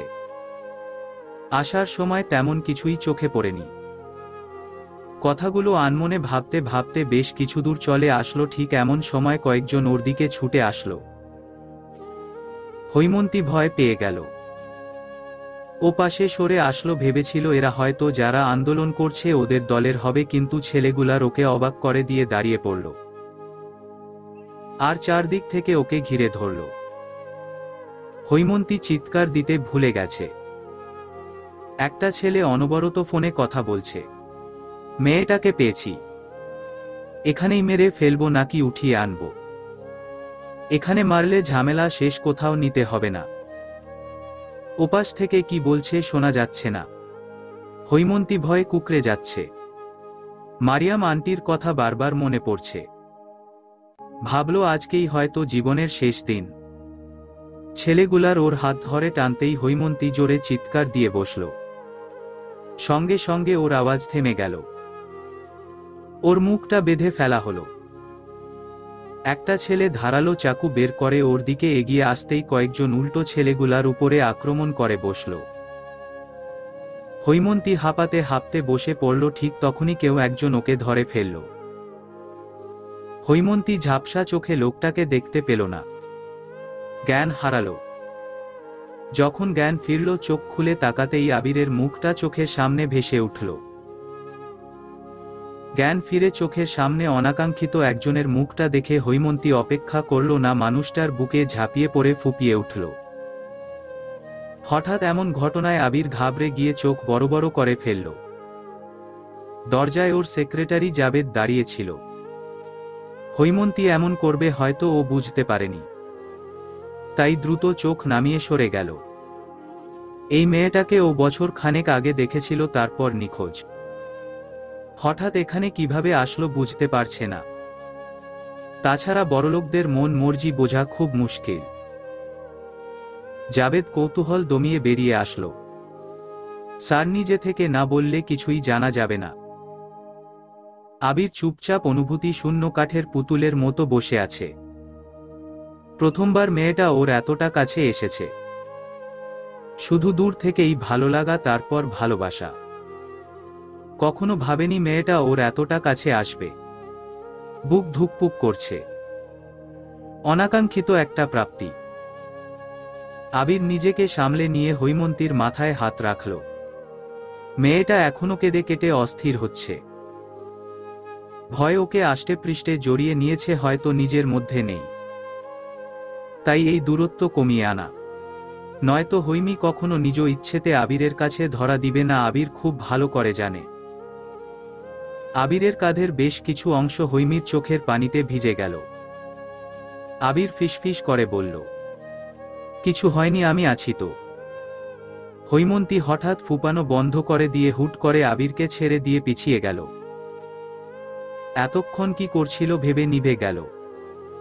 হিতাহিত জ্ঞান ছিল না। মারিয়াম আন্টির খুনের দৃশ্যটা আজও চোখের সামনে ভাসে। আজ হঠাৎ সেদিনের মতো ভয় করছে। আবির কি বলবে বুঝতে পারছে না। এই মেয়েটার সঙ্গে ওর খুব একটা কথাবার্তা হয়নি। কেমন গা ছাড়া ভাব ছিল। কীভাবে যে একে ভালোবেসে ফেলেছিল মাঝে মাঝে আফসোস হয়। মানুষের জীবনে প্রেম বারবার আসে কিন্তু আবিরের প্রেম কেন হৈমন্তীকে ঘিরেই সীমাবদ্ধ রয়ে গেল এটার হিসেব মিলাতে পারে না। হৈমন্তীর কথায় ওর ধ্যান ভাঙল। বাসায় ফিরব। আবির ভ্রুকুচকে ঘড়ি দেখিয়ে বলল, একটা বাজে এখন রাস্তায় বের হওয়া যাবে না। অবরোধ চলছে। কি থেকে কি হয়ে যাবে তখন ঝামেলা হবে। তাছাড়া জান্নাত আছে, আমি কোনো রিস্ক নিতে চাইছি না। জান্নাতের কথা বলতেই হৈমন্তী পাশে থাকা ঘুমন্ত মেয়েকে নিজের কোলের মধ্যে টেনে নিয়ে কপালে চুমু দিয়ে বলল, ওরা আমাকে মারতে চাইছে, মিস্টার আবির। হয়তো খুব তাড়াতাড়ি ওদের ক্ষোভের শিকার হয়ে যাব। মেয়েটাকে দেখবেন। হৈমন্তীর এমন কথায় আবিরের মেজাজ খারাপ হল। রাস্তাঘাটে মেয়েদের এমন সমস্যা নতুন না। একা নির্জন রাস্তায় ঘোরাঘুরি করার শখ মিটে যেত আবির একটু দেরি করলে। ফল কিনে আসার সময় হঠাৎ রাস্তায় চিৎকার শুনে কয়েকজন এগিয়ে আসে। আবিরও ছিল তাদের মধ্যে। মেয়েটাকে উদ্ধার করার পরে আবির বুঝতে পারল এটা হয়নি। আবির গম্ভীর কণ্ঠে বলল, রাতে একা একা ঘুরছিলে কেন? গাড়ি কোথায়? কিসের এত কাজকর্ম করছ শুনি যে মেয়েকে ছেড়ে সারাদিন অফিসে থাকতে হয়। রাতে রাস্তায় হাঁটতে হয়। চাকরির খুব দরকার থাকলে অনেক জায়গা আছে। আমার অফিসে কাজ করতে পারো। রাজীব ভাইয়ার ব্যবসাতে হাত লাগাতে পারো। এতেও না হলে আলাদা জায়গায় জবের চেষ্টা করো। জীবন বাজি রেখে এসব করে কিসের লাভ? আবির ঝাঝালো কণ্ঠে একদমে কথাগুলো বলে থামল। হৈমি চোখ বন্ধ করে বলল, মিটিং ছিল। লোকগুলোর কথা আমি শুনেছি, ওরা আমাকেই খুন করতে এসেছিল। ওখানে থাকতেও হয়েছিল। কাজটা আমি ভালোবেসে করি নিজের যোগ্যতাতে। আবির বিস্তারিত শুনতে চাইলে হৈমন্তী ওকে সবটা খুলে বলল। সব শুনে আবির ভ্রু কুচকে বলল, কার সঙ্গে কি শত্রুতা তৈরি করেছ আল্লাহ ভালো জানে। ভালো কাজ তো পারো না। আবির কথাটা বলে সোফায় গিয়ে শুয়ে পড়ল। হৈমন্তী চুপচাপ বসে আছে। লোকটা ওর উপরে রাগ করছে কি বুঝতে পারল না। যায় হয়েছে এতে কি ওর দোষ ছিল? হৈমন্তী প্রথম থেকে ভাবতে শুরু করল কিন্তু ভয় আর আতঙ্ক ছাড়া কিছুই পেল না। এখনও বুকের মধ্যে টিপটিপ করছে। কথাটা ভাবতে ভাবতে মেয়েকে কোলের মধ্য নিয়েই গভীর ঘুমে তলিয়ে গেল হৈমি। আবির চোখ বন্ধ করে শুয়েছিল। মনের মধ্যে হাজারো চিন্তাভাবনা ঘুরপাক খাচ্ছে। হৈমন্তীর এই শত্রুটাকে শনাক্ত করা অতি জরুরি কিন্তু কীভাবে? আবির ভাবতে ভাবতে উঠে আসলো। হৈমন্তীর কোল থেকে জান্নাতকে নিজের কাছে নিয়ে ওর গায়ে ভালো করে চাদর জড়িয়ে দিয়ে সোফায় ফিরে আসলো। মেয়েকে বুকের উপরে নিয়ে আয়েশ করে শুয়ে পড়ল। আজকের রাতটা ওর ঘুম হবে না। রুমে মিটিমিটি আলো জ্বলছে। হৈমির মুখের দিকে তাকিয়ে থাকতে থাকতে ওর চোখ দুটো লেগে আসলো। ভোরবেলা ফোনের শব্দে আবিরের ঘুম ভাঙল। এখনও জান্নাত ওর বুকের উপরেই আছে। আবির হাত বাড়িয়ে টেবিলের উপর থেকে ফোনটা নিয়ে রিসিভ করল। ওপাশ থেকে বলা একটা কথা ওর কানের মধ্যে বেজে উঠল। হাত পা কাঁপছে। প্রিয়জন হারানোর বেদনাতে হৃদয়ে ভেঙে খান খান হচ্ছে। শরীর থরথর করে কাঁপছে। মনে হচ্ছে এটা বুঝি স্বপ্ন। আবির তাড়াতাড়ি করে মেয়েকে হৈমির কাছে রেখে বেরিয়ে গেল। যাওয়ার আগে সেক্রেটারি জাবেদকে রেখে গেল হৈমন্তীকে বাড়িতে পৌঁছে দেওয়ার জন্য। জাবেদ যেতে চেয়েছিল কিন্তু আবির বাধা দিল। ও একাই সামলে নিতে পারবে। জাবেদ চুপচাপ চোখের পানি ফেলছে। একবার ভাবল হৈমন্তীকে ডেকে তুলে দিতে কিন্তু আবিরের করা হুকুম ওকে জাগানো যাবে না। উপায়ন্তর না দেখে জাবেদ দরজার দাঁড়িয়ে আছে। মনে হচ্ছে ওর শাস্তি চলছে। সকাল সাতটায় হৈমন্তীর ঘুম ভাঙল। জান্নাত তখনও ঘুমে বিভোর। রুমে আবির নেই, দরজা বন্ধ। সাত সকালে কোথায় গেল লোকটা? কথাটা ভেবে ও দরজা খুলে উকি দিতেই জাবেদকে দেখতে পেল। হৈমন্তী থতমত খেয়ে বলল আপনি এখানে দাঁড়িয়ে কি করছেন? স্যারের হুকুম। উনি কোথায়? হাসপাতালের মর্গে। হৈমন্তী জাবেদে এমন ছন্নছাড়া কথায় আতঙ্কে চমকে উঠল। মর্গের কথা শুনেই বুকের মধ্যে ছ্যাত করে উঠেছে। সুস্থ মানুষ মর্গে কেন থাকবে বুঝতে পারল না। ভয় শরীর কাঁপছে তবুও নিজেকে সামলে নিয়ে বলল, কার কি হয়েছে? উনি ঠিক আছেন। কখন গিয়েছেন? আমাকে ডাকেনি কেন? হৈমন্তী একদমে কথাগুলো বলে থামল। ওর নিঃশ্বাস ঘন হয়ে আসছে। হয়তো শ্বাসরোধ হয়ে আসছে। জাবেদে ওর মুখের দিকে তাকিয়ে আছে। আবিরের সঙ্গে এই মেয়েটার সম্পর্ক ঠিক কেমন এটা ওর বোধগম্য হচ্ছে না। বিয়ের এতগুলো দিন মেয়েটাকে কখনো স্যারের সঙ্গে দেখা হয়নি। প্রথম দিন ভেবেছিল স্যার মেয়েটাকে জোর জবরদস্তি করেই বিয়ে করছে কিন্তু পরে ভেবেছিল স্যারের মতো মানুষ কখনো এমন করবে না। হয়তো কোনো কারণ আছে। জাবেদ সেসব জানতে চায়নি। ও শুধু আবিরের ভালো চেয়েছে। ছেলেটা বাবার মতোই ভালো মানুষ কিন্তু সেই মানুষ তো আজ কোথায়? কথাটা ভেবে ওর চোখ দুটো আবারও ভিজে উঠল। জাবেদকে চুপচাপ দেখে হৈমন্তী এবার শব্দ করে বলল, আমার প্রশ্নের উত্তর দিন। আমি টেনশন করছি। জাবেদ মাথা নিচু করে বলল, স্যারের বাবা গতকাল রাতে মারা গেছেন। অনুমান করা হচ্ছে এটা স্বাভাবিক মৃত্যু না মার্ডার। রুমে সিসি ক্যামেরা ছিল সেটা গায়েব। পুলিশ এসেছিল লাশ ময়নাতদন্তের জন্য নিয়ে গেছে। স্যার সকালবেলায় বাড়িতে গিয়ে পুলিশের সঙ্গে হাসপাতালে আছেন। আমি যেতে চেয়েছিলাম কিন্তু আপনার জন্য স্যার আমাকে যেতে দেয়নি। আপনাকে বাড়িতে পৌঁছে দিয়ে আমি স্যারের কাছে যাব। জাবেদ শেষের কথাগুলো কেমন ধারা গলায় বলল। হৈমন্তী এবার শব্দ করে কেঁদে ফেলল। আবিরের জন্য ভালোবাসা নাকি একজন বাবা হারা সন্তানের জন্য কষ্ট হচ্ছে হৈমন্তী বুঝতে পারছে না। ওর বুক ফেটে যাচ্ছে। মনে হচ্ছে ও সত্যিই কুফা। ছেলেটার জীবনে আসা মাত্র অশান্তি শুরু হয়ে গেছে। গতকাল যদিও বাড়িতে থাকতো তাহলে এমন কিছুই হতো না। শুধু ওর জন্যই এসব হচ্ছে। হৈমন্তী পূর্দমে দোষটা নিজের উপরে চাপিয়ে দিল। জাবেদ হৈমন্তীর কান্না দেখে বলল, ম্যাডাম, বাসায় ফিরবেন না। চলুন। হৈমন্তী উত্তর করল না।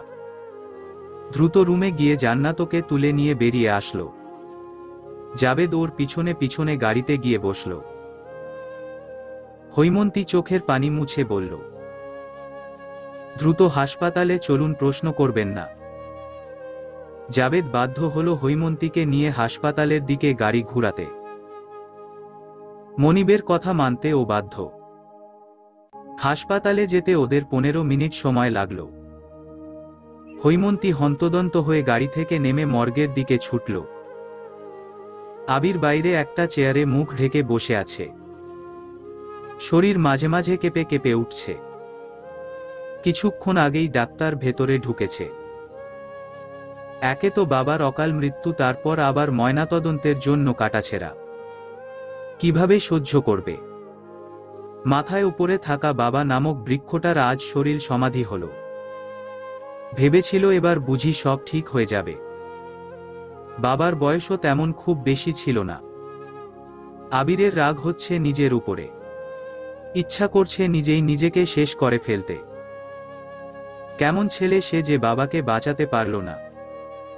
বাড়িতে নিয়ে যাওয়ায় সবথেকে বড় ভুল হয়েছিল। হয়তো উনি কিছু জানতেন তাই মুখ বন্ধ করতে খুনিরা এমনটা করল। হৈমন্তী মেয়েকে কোল থেকে নামিয়ে আবিরের পাশে ফ্লোরে ধূপ করে বসে পড়ল। শব্দ শুনেও পাশে তাকিয়ে হৈমন্তীকে দেখে ভ্রু কুচকে ফেলল। মেয়েটা ওর জন্য কাঁদছে কিন্তু কেন? ভালোবাসা ছাড়া করুণা খাপো ছাড়া সহানুভূতি দিয়ে আবির করবেটা কি? নারী মানেই নিজেকে বিসর্জন দিয়ে পরের কথা ভাবানা। আবির চোখের পানি মুছে গম্ভীর কণ্ঠে বলল, কাঁদছ কেন? ওকে নিয়ে ফিরে যাও। হৈমন্তী কিছুই বলছে না, নিচের দিকে তাকিয়ে চোখের পানি ফেলছে। দৃশ্যটা আবিরের কাছে খুব তিক্ত লাগল। ও ঝট করে উঠে চলে গেল। এভাবেই অনেকখানি সময় পার হল। আরাফাত এসেছে হাসপাতালে। হৈমন্তী দ্রুত নিজেকে ঠিক করে ফেলল।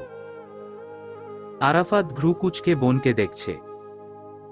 গতকাল অফিসের কাজে আটকে গিয়েছিল কিন্তু এখানে কি করছে বুঝতে না পেরে বলল তুই এখানে? হৈমন্তী ফুপিয়ে বলল জান্নাত মিস্টার আবিরের কাছে ছিল। আরাফাত বুঝতে পারল হৈমন্তী জান্নাতকে নিতে এসে এই অবস্থা দেখে ভয় পেয়েছে। ও আর প্রশ্ন করল না। লাশ নিয়ে যাওয়া হবে। আরাফাত সব ব্যবস্থা করেছে। হৈমন্তীকে চলে যেতে বলা হলো কিন্তু ও গেল না। আরাফাতের সঙ্গে আবিরদের বাড়িতে এসে হাজির হলো। বাসা থেকে ছোট বড় সবাই এসেছে। আমেনা বেগম পর্যন্ত আবিরদের বাসায় হাজির। হৈমন্তীর এমন বিধ্বস্ত চেহারা দেখে চয়নিকা এগিয়ে গেল। জান্নাত আরাফাতের আছে ছিল চয়নিকা যেতেই ওর কোলে তুলে দিয়ে চলে গেল। অরিন চিৎকার করে কাঁদছে। বাবার জন্য একটা বছর ওর হাসপাতালেই কেটেছে, কখনো আফসোস করেনি। শুধু ভেবেছে বাবা ঠিক হয়ে গেলে আবারও সবাইকে নিয়ে সুখে শান্তিতে থাকতে পারবে কিন্তু তেমন কিছুই তো হলো না। আবির ছেলে মানুষ চিৎকার করতে পারছে না কিন্তু চোখের পানি বাদ ভাঙেছে। মা বোনের দিকে তাকালে পৃথিবীর ধ্বংস করে ফেলতে মন চাইছে। প্রশ্ন ঘুরছে, কার জন্য এমন হচ্ছে, নিজের জন্য নাকি অন্য কারও জন্য? আবির ভাবতে পারল না। বাবার খাটিয়ার পাশে বসে ছিল এসব ভেবে আস্তে করে পাশে ঢলে পড়ল। আরাফাত আর রাজীব দৌড়ে গিয়ে ওকে সরিয়ে নিল। পারিবারিক ডাক্তার বাড়িতেই ছিল, উনি গিয়ে দেখলেন। ফারজানা হক স্বামীর হাত ধরে বসে আছেন। কয়েক ঘণ্টা চিৎকার করে কেঁদেছেন, গলা বসে গেছে। শব্দ বের হচ্ছে না। ফ্যাল ফ্যাল করে মৃত স্বামীকে দেখছেন। কত বছরের সংসার, কত স্মৃতি, সব এক নিমিষেই শেষ। মৃত্যুতে কি ভালোবাসা শেষ হয়? এত আবেগ অনুভূতি কোথায় যায়? হৃদয় নামক অদৃশ্য বস্তুটির অস্তিত্ব কি শরীরের সঙ্গে সঙ্গে বিলীন হয়ে যায়? বাবার কবরের পাশে বসে আছে আবির। সবাই চলে গেছে ও যেতে পারেনি। হাতে হাত রেখে পথ চলা শিখিয়েছিল সেই লোকটা আজ অতীত। বাবা নেই এতিমের শিলমোহর গায়ে লেগে গেছে। আবির মুঠো শক্ত করে ভাবল যেই এসব করে থাকুক ও কাউকে ছাড়বে না। এভাবে বসে থাকলে তো চলবে না। রুমের সিসি ক্যামেরা কে খুলেছে জানতে হবে।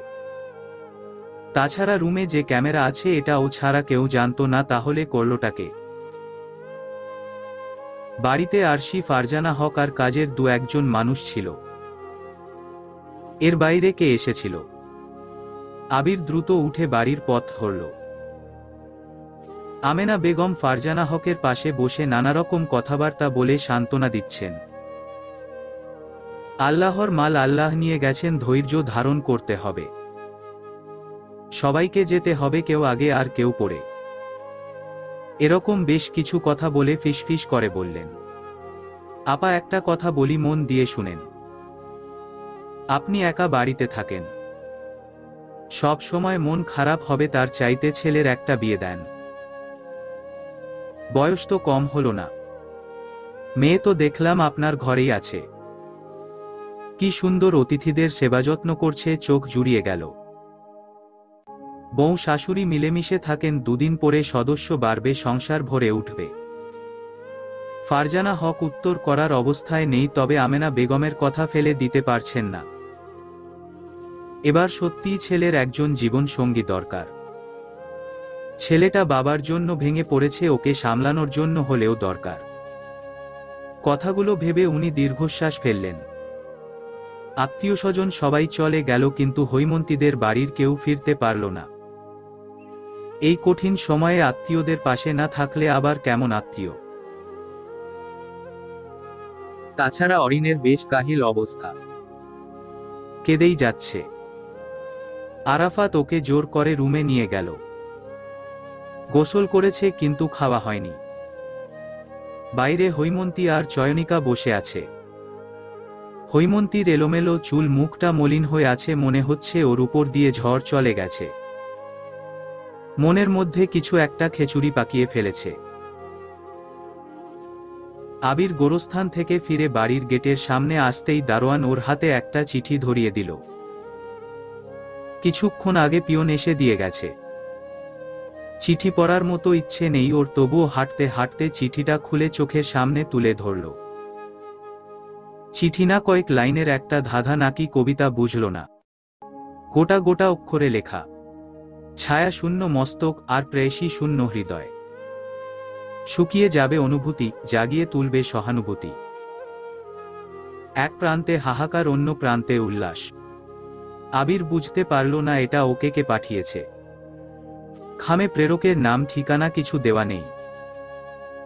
আবির হাতের মুঠোয় চিঠিটা পুরে নিয়ে হঠাৎ থেমে গেল। আবারও কাগজটা চোখের সামনে তুলে ধরল। কয়েক সেকেন্ড চোখ বন্ধ করে মুঠো শক্ত করল। পরের আক্রমণ কার উপরে আসবে বুঝতে ওর একটু অসুবিধা হচ্ছে না। আবির হন্তদন্ত হয়ে ভেতরে চলে আসলো। ডাইনিং রুমে হৈমন্তীর সামনে গিয়ে থামল। গম্ভীর কণ্ঠে আস্তে করে বলল, এখনও বসে আছো? হৈমি, তুমি তো এমন ছিলে না।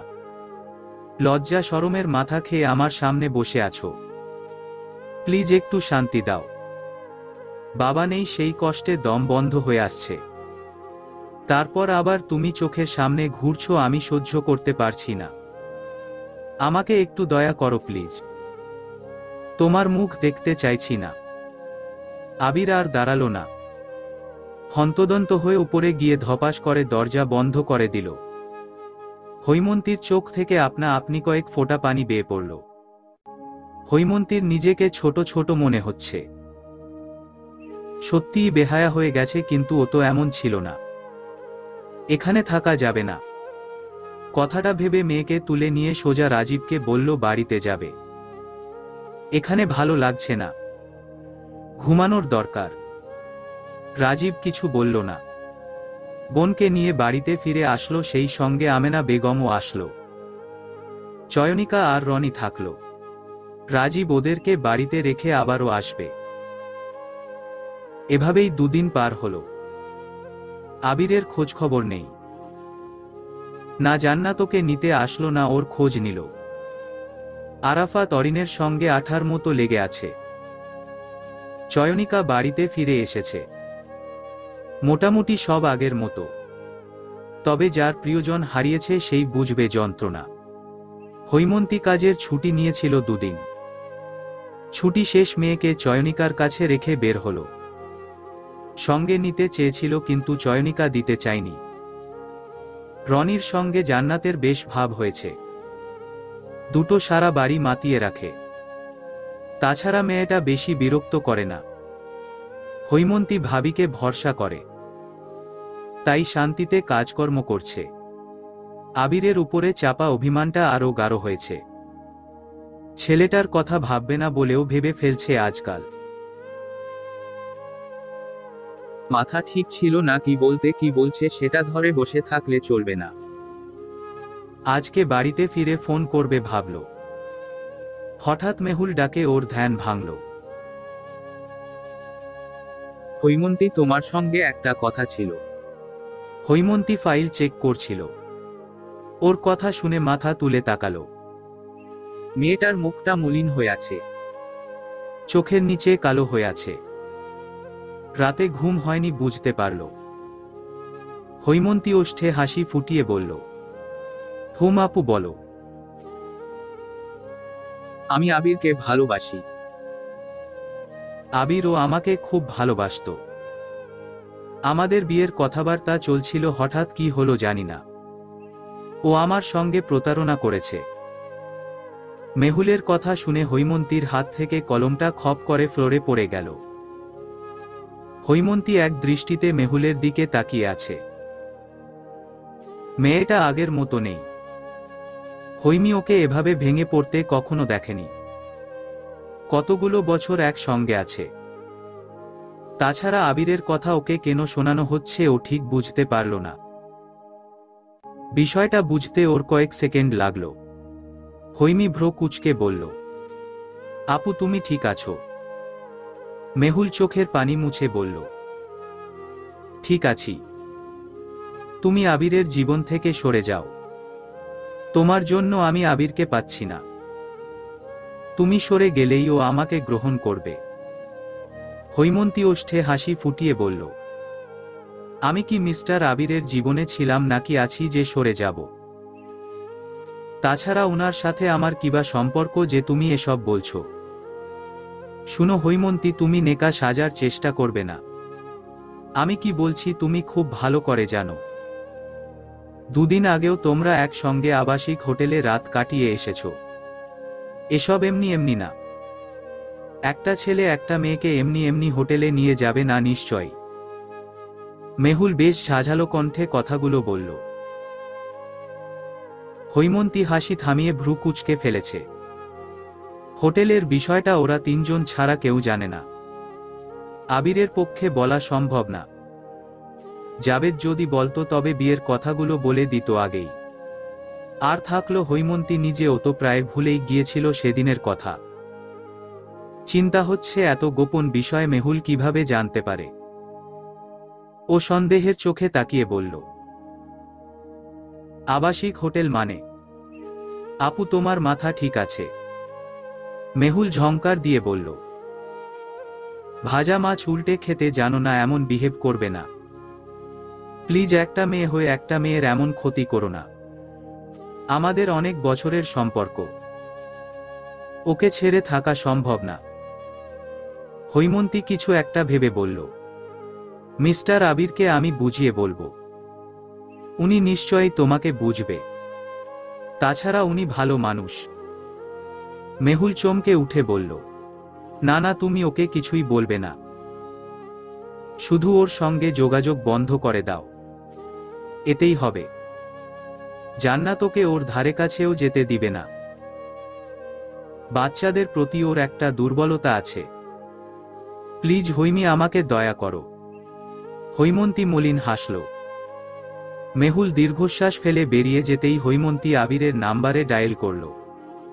তৃতীয়বারের মাথায় ফোন রিসিভ হল। হৈমন্তীকে চুপ থাকতে দেখে আবির প্রশ্ন করল, ফোন করেছ কেন? বলেছিলাম না সামনে আসবে না। হৈমন্তী গম্ভীর কণ্ঠে উত্তর দিল, ভাজা মাছ উল্টে খেতে ফোন দিয়েছি। আপনার প্রেমিকা আপনার নামে উল্টাপাল্টা বকছে আমার কাছে। উনাকে থামানো আপনার দায়িত্ব। দেখুন এসব কিন্তু আমি সহ্য করব না। কি ভেবেছেন একবার আপনি বিরক্ত করবেন, আবার আপনার গার্লফ্রেন্ড বিরক্ত করবে। সমস্যা কি আপনাদের? হৈমন্তীর কথা শুনে আবির ভ্রু কুচকে ফেলল। প্রেমিকা শব্দটা ওর হজম হল না। সেই নাইন টেনের প্রেম কি আবার ফিরে আসলো? সেটা তো সিরিয়াস ছিল না। মেয়েটার চেহারা পর্যন্ত মনে নেই। বন্ধুদের পাল্লাই পরে কয়েকদিন খুব উড়াউড়ি করেছিল। তারপর মেয়েটা নিজেই ওকে ছ্যাঁকা দিয়ে চলে গেল। সেই দুঃখে কদিন সিগারেট খেয়ে কাটিয়ে দিয়েছিল। আবারও সেই প্যারা। আবির নিজেকে সামলে নিয়ে বলল, কোন গার্লফ্রেন্ড কিসের গার্লফ্রেন্ড? মজা করছ আমার সঙ্গে। মজা করার মতো সময় বা ইচ্ছা কোনোটাই আমার নেই। আপনার গার্লফ্রেন্ড মেহুল আমার পেছনে গোয়েন্দা ঠিক করেছে। আবাসিক হোটেলে আমাকে নিয়ে রাত কাটিয়েছেন সেটা আভি জানে খুব রিকোয়েস্ট করেছে আপনাকে ছেড়ে দিতে। ধরেছ কবে যে ছেড়ে দিতে বলেছে। যাই হোক বিজি আছি। আবির রেখে দিতে চাইল, কিন্তু হৈমন্তী চিৎকার দিয়ে বলল, থামুন থামুন, আরেকটা কথা ছিল। মেহুলকে বলবেন না, আমি আপনাকে বলে দিয়েছি। মেবি কেউ ওকে চাপাচাপি করেছে এসব বলতে। আপনি ওর উপরে নজর রাখেন, কিছু একটা হয়েছে। আবির কপট রাগ দেখিয়ে বলল আমার গার্লফ্রেন্ড, আমি বুঝব তোমাকে এসব নিয়ে ভাবতে হবে না। দূরে থাকো, আমার থেকে মঙ্গল হবে। আবির কথা শেষ করে ফোন রেখে দিল। হৈমন্তীর রাগ হচ্ছে। লোকটা ওকে ইগনোর করছে কিন্তু কেন? এলোমেলো লাগছে। মেজাজ খারাপ হচ্ছে। মেহুলের বলা একটা কথাও ওর বিশ্বাস হয়নি। কেন হবে লোকটাকে ও বহুদিন ধরে চিনে। ভালোবাসার জন্য এমন বেপরোয়া কাউকে হতে দেখেনি। তাকে অবিশ্বাস করা বোকামি ছাড়া কিছুই না। হৈমন্তী ওর কাছে ধরা দেয়নি ছেলেটা খারাপ এই জন্য না। বরং নিজের ত্রুটির জন্য। কাউকে সুখী করতে হলে আগে নিজে তার উপযুক্ত হতে হয়। হৈমন্তী তো ভাঙাচুরা মনের একজন মানুষ ছিল। নিজকে দেখলেই নিজের ঘৃণা হতো। সেই সময় কীভাবে পারত আবিরকে কাছে টেনে নিতে? আবির ভালো ছেলে, ওর জন্য ভালো মেয়ে পাওয়া কঠিন কিছু না। হৈমন্তীর ধ্যান ভাঙল ফোনের শব্দ শুনে। ও তাড়াতাড়ি ফোন রিসিভ করল। চয়নিকা ফোন করেছে। হৈমন্তীকে বাড়িতে যেতে বলছে, জান্নাত কান্নাকাটি করছে। হৈমন্তী টাইম দেখে নিল দুপুর হয়ে গেছে। কাজ শেষ, বাড়িতে যে অসুবিধা হবে না। হৈমন্তী হন্তদন্ত হয়ে ছুটল বাড়ির পথে। হৈমন্তী ওর বোন মাধবীর সামনে বসে আছে। বহুদিন পর সামনে থেকে দেখা। মেয়েটার চেহারা কেমন ফ্যাকাশে হয়ে আছে।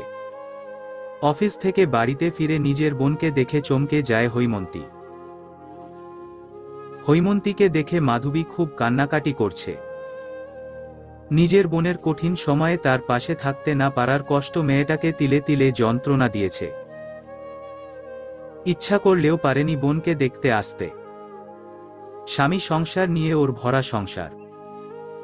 ওর স্বামী ইমতিয়াজ বউকে কাছছাড়া করে না। সব সময় নিজের কাছাকাছি রাখে। পুলিশ মানুষ বাইরে যেমন বাড়ির ভেতরেও তেমন করা। মাধবী স্বামীর কথার বাইরে একটা কথাও বলতে পারে না। চুপচাপ সহ্য করে। এক বোন ডিভোর্সি সেই দুঃখে মায়ের অবস্থা খারাপ, তারপর যদি ও নিজেও এমন করে, তাহলে সমাজে মুখ দেখানো যাবে না। শত কষ্ট হলেও স্বামীর মন জুগিয়ে চলার চেষ্টা করে।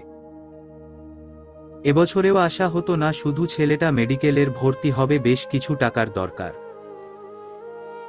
ইমতিয়াজ বলে দিয়েছে, তোমার বাপ ভাই তো মেয়ে, বিয়ে দিয়েই খালাস। শুধু খোঁজ নিলেই দায়িত্ব পালন হয় না। এবার গিয়ে বলো ছেলের জন্য কিছু দিতে। আমি তো আছি আর থাকব যদি না দিয়েছে পরে দেখব। শুধু এক বোনকে দেখলেই হবে নাকি? মাধবী লজ্জায় মাটির সঙ্গে মিশে যাচ্ছে। ভাইয়ের কাছে টাকা চাইতে বিবেকে বাঁধছে। কি করবে বুঝতে পারছে না। খালি হাতে ফিরে গেলে লোকটা উঠতে বসতে ওকে খোঁচা দিবে। কথার খোঁচা সহ্য করা বেশ কঠিন। গায়ের ব্যথা বেশি দিন থাকে না। কিন্তু মনের আঘাত কখনো যায় না। হৈমন্তী বোনকে খুঁটিয়ে খুঁটিয়ে দেখছে। বোন ওর থেকে বেশ বড় আরাফাতের বড়। বোন আসার খুশিতে ভাইয়েরা পাগল হয়ে গেছে। আরাফাত অফিসে যায়নি। অরিনকে নিয়ে বাড়িতে ফিরছে। রাজীব বাজার করতে গেছে। চয়নিকা রান্নাঘরে ঢুকেছে। আমেনা বেগম হৈমন্তীকে শুনিয়ে শুনিয়ে মেয়ের সঙ্গে খোসমেজাজে গল্প করছে। হৈমন্তী শুধু বোনকে দেখছে। মেয়েটা হাসছে কিন্তু চোখ মুখ কেমন শুকনো তাই কৌশলে ডেকে নিয়েছে। হৈমন্তী বোনের দিকে তীক্ষ্ণ দৃষ্টিতে তাকিয়ে আছে। মাধবী ওষ্ঠে হাসি ফুটিয়ে বলল, কি দেখছ? হৈমন্তীর সোজাসাপটা প্রশ্ন। তুমি ভালো আছো আপা। দুলাভাই তোমাকে আসতে দিল। কি হয়েছে বলবে? মাধবী বোনের কথায় চমকে উঠে নিজেকে সামলে নিয়ে বলল, কিছু হয়নি, আমি ভালো আছি হইমি শুধু তোমার জন্য খারাপ লাগছে। মেয়েদের জীবনটাই এমন হইনি সবকিছু সহ্য করার ক্ষমতা নিয়ে জন্মাতে হয়। খারাপ লাগা বলতে কিছু থাকতে নেই। হৈমন্তী ভ্রু কুচকে বলল, দুলাভাই তোমাকে এমনি এমনি পাঠিয়েছে, বিশ্বাস হচ্ছে না। এত বিপদ গেল তোমাকে দেখিনি। আজকে হঠাৎ আসাটা আমাকে ভাবাচ্ছে। তাছাড়া দুদিন আগেও ভাইয়া দুলাভাইকে বলেছিল, তখন উনি রাজি ছিলেন না। হঠাৎ একদিনে কি হলো? আপা তোমাকে দেখে আমার ঠিক লাগছে না। বলে দাও আমি না তোমার বোন। মাধবী কষ্টটা চেপে রাখতে পারল না। হুহু করে বোনকে জড়িয়ে ধরে কেঁদে ফেলল। হৈমন্তী বোনের মাথায় হাত রেখে বলল, কেঁদো না আপা। তোমাকে কাঁদতে দেখলে আমার কষ্ট হয়। তুমি তো এমন ছিলে না আপা। তোমার হাসি দেখলে চির দুঃখীর ও হাসতে ইচ্ছা হতো। বাধুবী নিজেকে সামলে নিয়ে চোখের পানি মুছে সবটা হৈমন্তীকে খুলে বলল, লোকটার সঙ্গে সংসার করাটা কেমন দিন দিন অসহ্য হয়ে উঠছে। খিটখিটে স্বভাবের বউ ছেলে মেয়েকে চোখে চোখে রাখে। সন্দেহ করে। পুলিশ বলে কি সবাইকে সে চোর মনে করবে। এটা কেমন কথা? হৈমন্তী বোনের হাত ধরে বলল, চিন্তা করো না। টাকার ব্যবস্থা আমি করে ফেলব।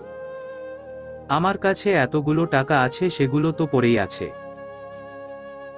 আমি কাজকর্ম করছি, এই দিয়ে মা মেয়ের চলে যাবে। তুমি সামান্য একটা ব্যাপার নিয়ে কষ্ট পাচ্ছ। মাধবী বোনের দিকে তাকিয়ে আছে। বোনটা ছোট থেকেই খুব নরম মনের ছিল। আরও ছিল চঞ্চল। কিন্তু সব এখন বদলে গেছে। সত্যিই মেয়েদের স্বাবলম্বী হওয়াটা খুব জরুরি। হৈমন্তী বোনকে বুঝিয়ে বাইরে আসলো। রাজীব বাজার থেকে ফিরেছে। হৈমন্তী ভাইয়ের সঙ্গে বিষয়টা নিয়ে আলোচনা করল।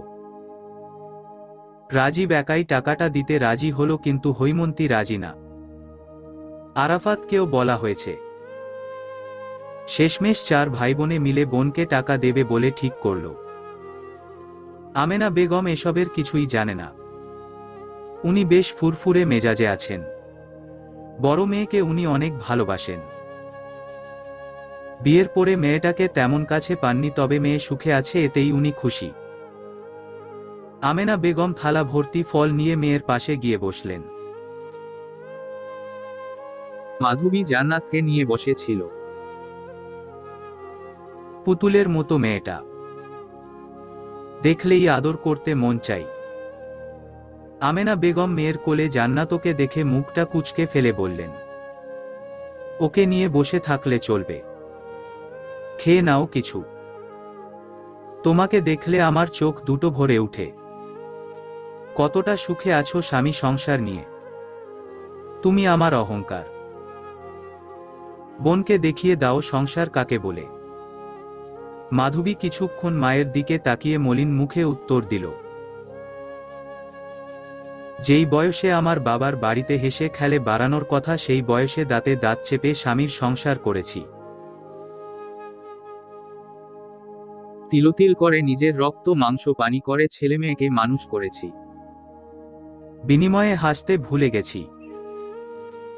শতরাত চোখের পানিতে বালিশ ভিজিয়েছি। এটাকে যদি তুমি সুখে থাকা বলো তাহলে আমি খুব সুখী, আম্মা। আমার বাল্যকালটা তুমি নষ্ট করেছ। তোমাকে আমি কখনো ক্ষমা করতে পারব না, আম্মা।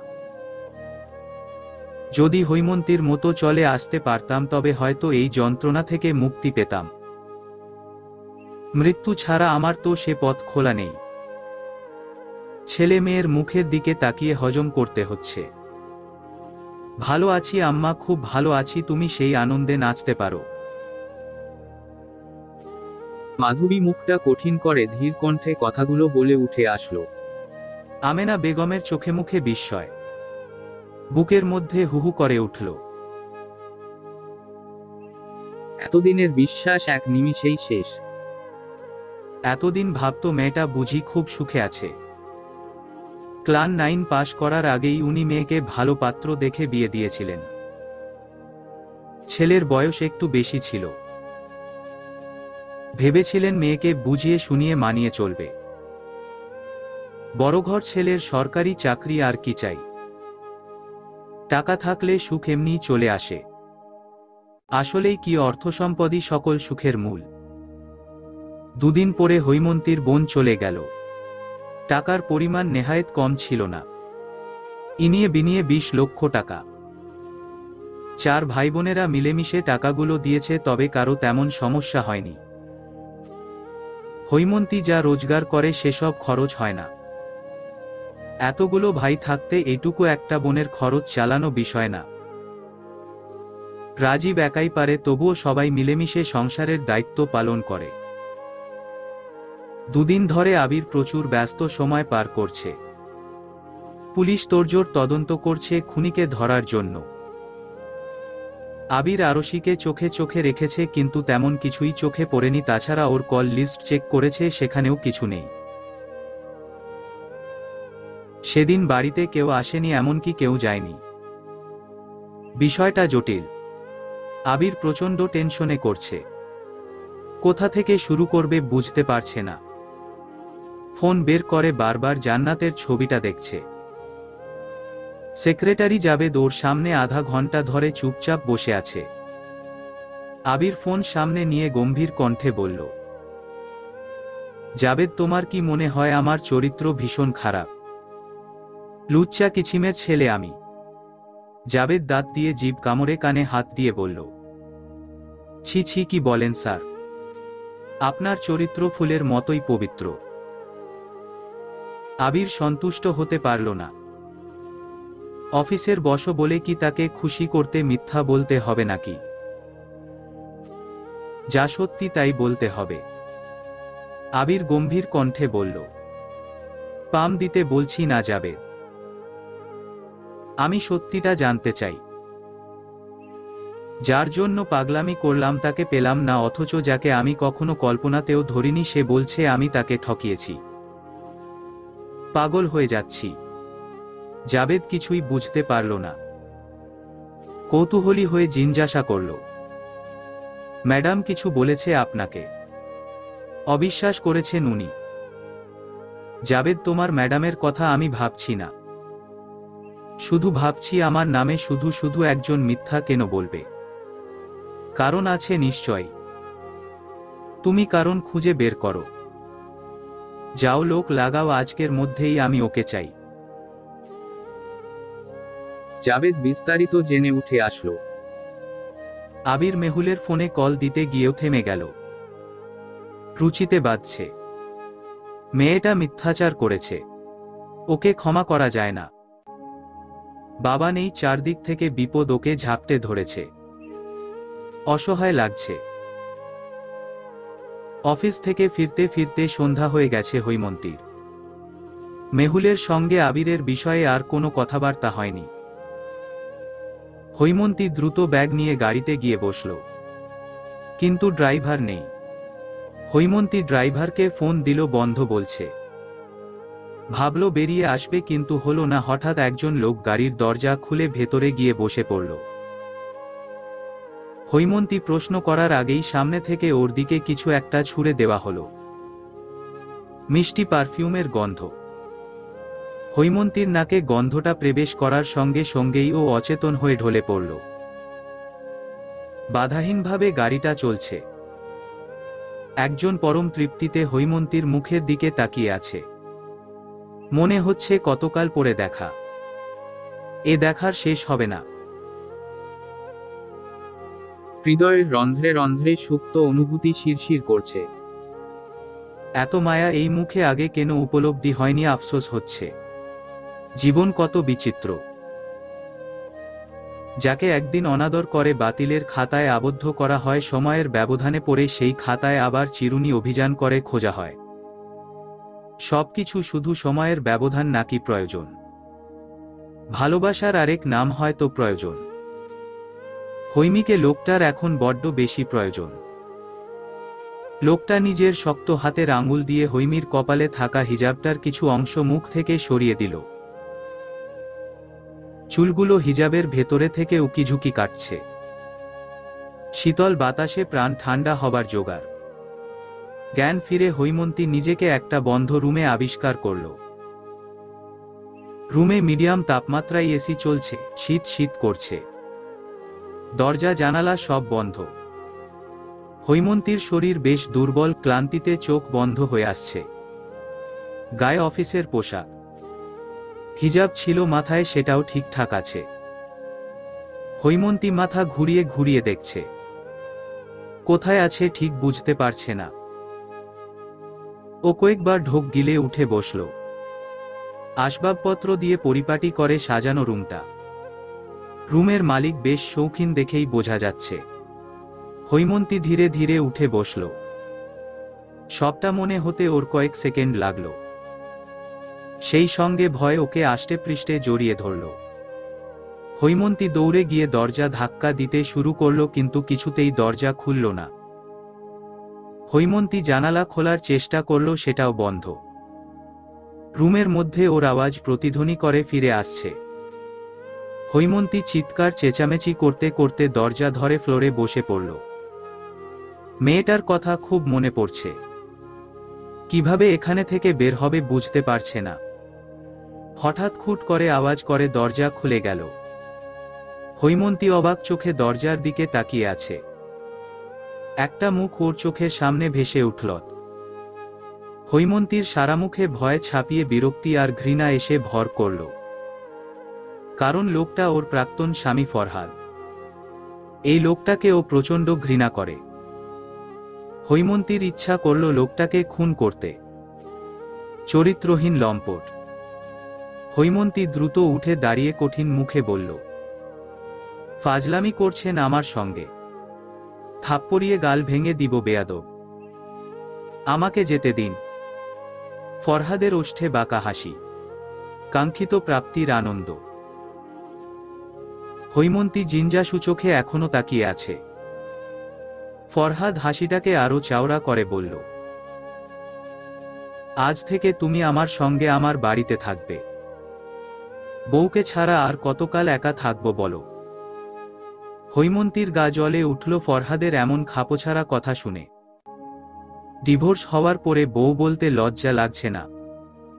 হৈমন্তী দাঁতে দাঁত চেপে বলল, তুই সত্যিই অমানুষ। লতার প্রেম উবে গেছে। তোর দেওয়া প্রতিটা আঘাত আমার মনে গেথে আছে। যদি কখনো মারাও যায় তবুও মনে থাকবে। তোকে ঘৃণা ছাড়া কিছুই করা যায় না। ফরহাদ মন খারাপ করে বলল, ভুলে যাও না কেন সেসব খারাপ অতীত। আমি ভুল করেছিলাম, ক্ষমা চেয়েছি। তোমার উচিত আমাকে ক্ষমা করে সংসার করা। তাছাড়া তোমার আম্মাও চেয়েছে তুমি আমার সঙ্গে থাকো। কুত্তা, তুই এখনই আমাকে দিয়ে আসবি, নয়তো খুন করব তোকে। কিসের ক্ষমা? আমি বিবাহিত, মেয়ে আছে, স্বামী আছে। আমার সংসার ফেলে তোর সঙ্গে থাকব কেন? এটা একদম ঠিক না, হৈমন্তী। আমি জানি ওই মেয়েটা তোমার মেয়ে না। মিথ্যা বলো না। যদিও তোমার মেয়ে বা স্বামী থাকতো, তবুও আমার কোনো সমস্যা নেই। উপর থেকে ঠিক করা তুমি শুধু আমার। ফরহাদের কথাবার্তা শুনে হৈমন্তীর মেজাজ খারাপ হচ্ছে। হাতের কাছে ফুলদানি ছিল, উঁচু করে ওর গায়ে ছুটতে গেল কিন্তু পারল না। ফরহাদ ছুটে এসে ওকে ধরে ফেলল। হৈমন্তীর সঙ্গে ফুলদানি নিয়ে বেশ ধস্তাধস্তি হল। শেষমেশ ফরহাদ সফল হল। হৈমন্তী ক্লান্ত হয়ে বসে ফুপিয়ে কেঁদে ফেলল। ফরহাদ দাঁত বের করে হাসতে হাসতে ওর ওর সামনে বসে বলল, আগের হৈমন্তী কিন্তু এমন ছিল না। আগে কত লক্ষ্মী হয়ে আমার হুকুম শুনতে। আশেপাশে ঘুরঘুর করতে খুব মিস করি তোমাকে। প্লিজ আগের মতো হয়ে যাও না। খুব ভালোবাসা দিব, বিশ্বাস করো। হৈমন্তীর গা গুলিয়ে উঠল ফরহাদের কথা শুনে। ইবলিশ শয়তানকে হার মানিয়ে দিবে এই লোকটা। হৈমন্তী নিজের সর্বোচ্চ শক্তি দিয়ে নিজেকে প্রস্তুত করে ধাক্কা দিয়ে ফরহাদকে দরজার ওপাশে ফেলে দিয়ে দরজা বন্ধ করে ফেলল। ওপাশ থেকে বাধা দিল কিন্তু হৈমন্তীর সঙ্গে পারল না। ফরহাদ বুঝে উঠার আগেই হৈমন্তী দরজা বন্ধ করে ছিটকিনি আটকে দিয়ে হাঁপাতে হাঁপাতে বলল, আমি জানি তুই আমাকে বাড়িতে পৌঁছে দিবি না। যতদিন কেউ আমাকে উদ্ধার করতে না আসবে, আমি এই রুমেই থাকব। সহ্য করতে না পারলে সুইসাইড করব, তবুও তোর কাছে নিজেকে তুলে দিব না।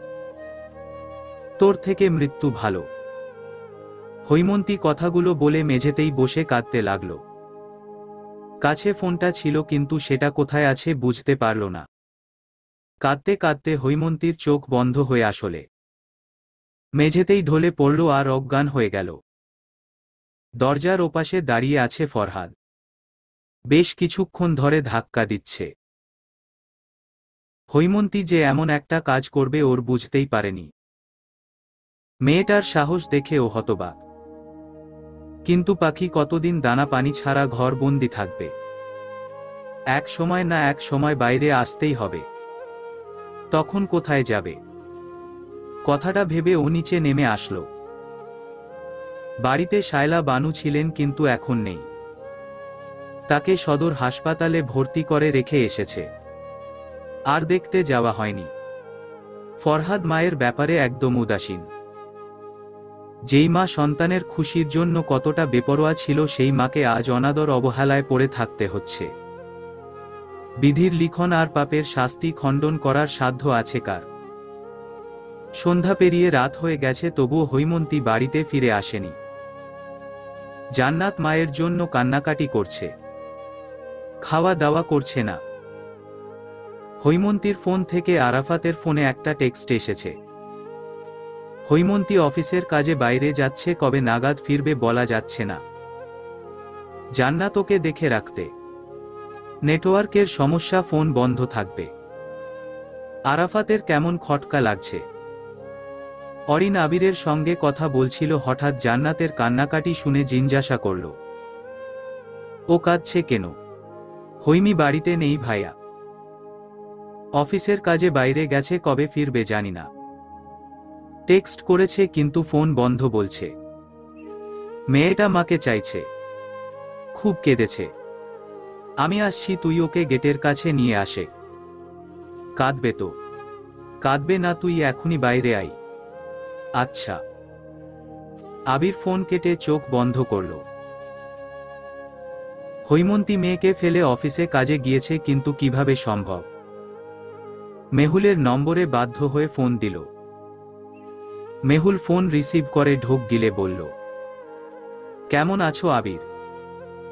আবির ভনিতা রেখে সোজাসুজি জিজ্ঞাসা করল, তোমাদের অফিস থেকে কাজের জন্য বাইরে গেছে কতজন? কোথায় গেছে? মেহুল অবাক হয়ে বলল, কিসের কাজে আবির? আমাদের এখান থেকে বাইরে কেন কাজে যাবে? অফিসের শাখা আছে। কোনো দরকার থাকলে ওরাই করে দিয়ে থাকে, আমাদের যাওয়া লাগে না। কেন বলো তো? হৈমি এসেছিল অফিসে। হুম এসেছিল, আবারও চলেও গেছে।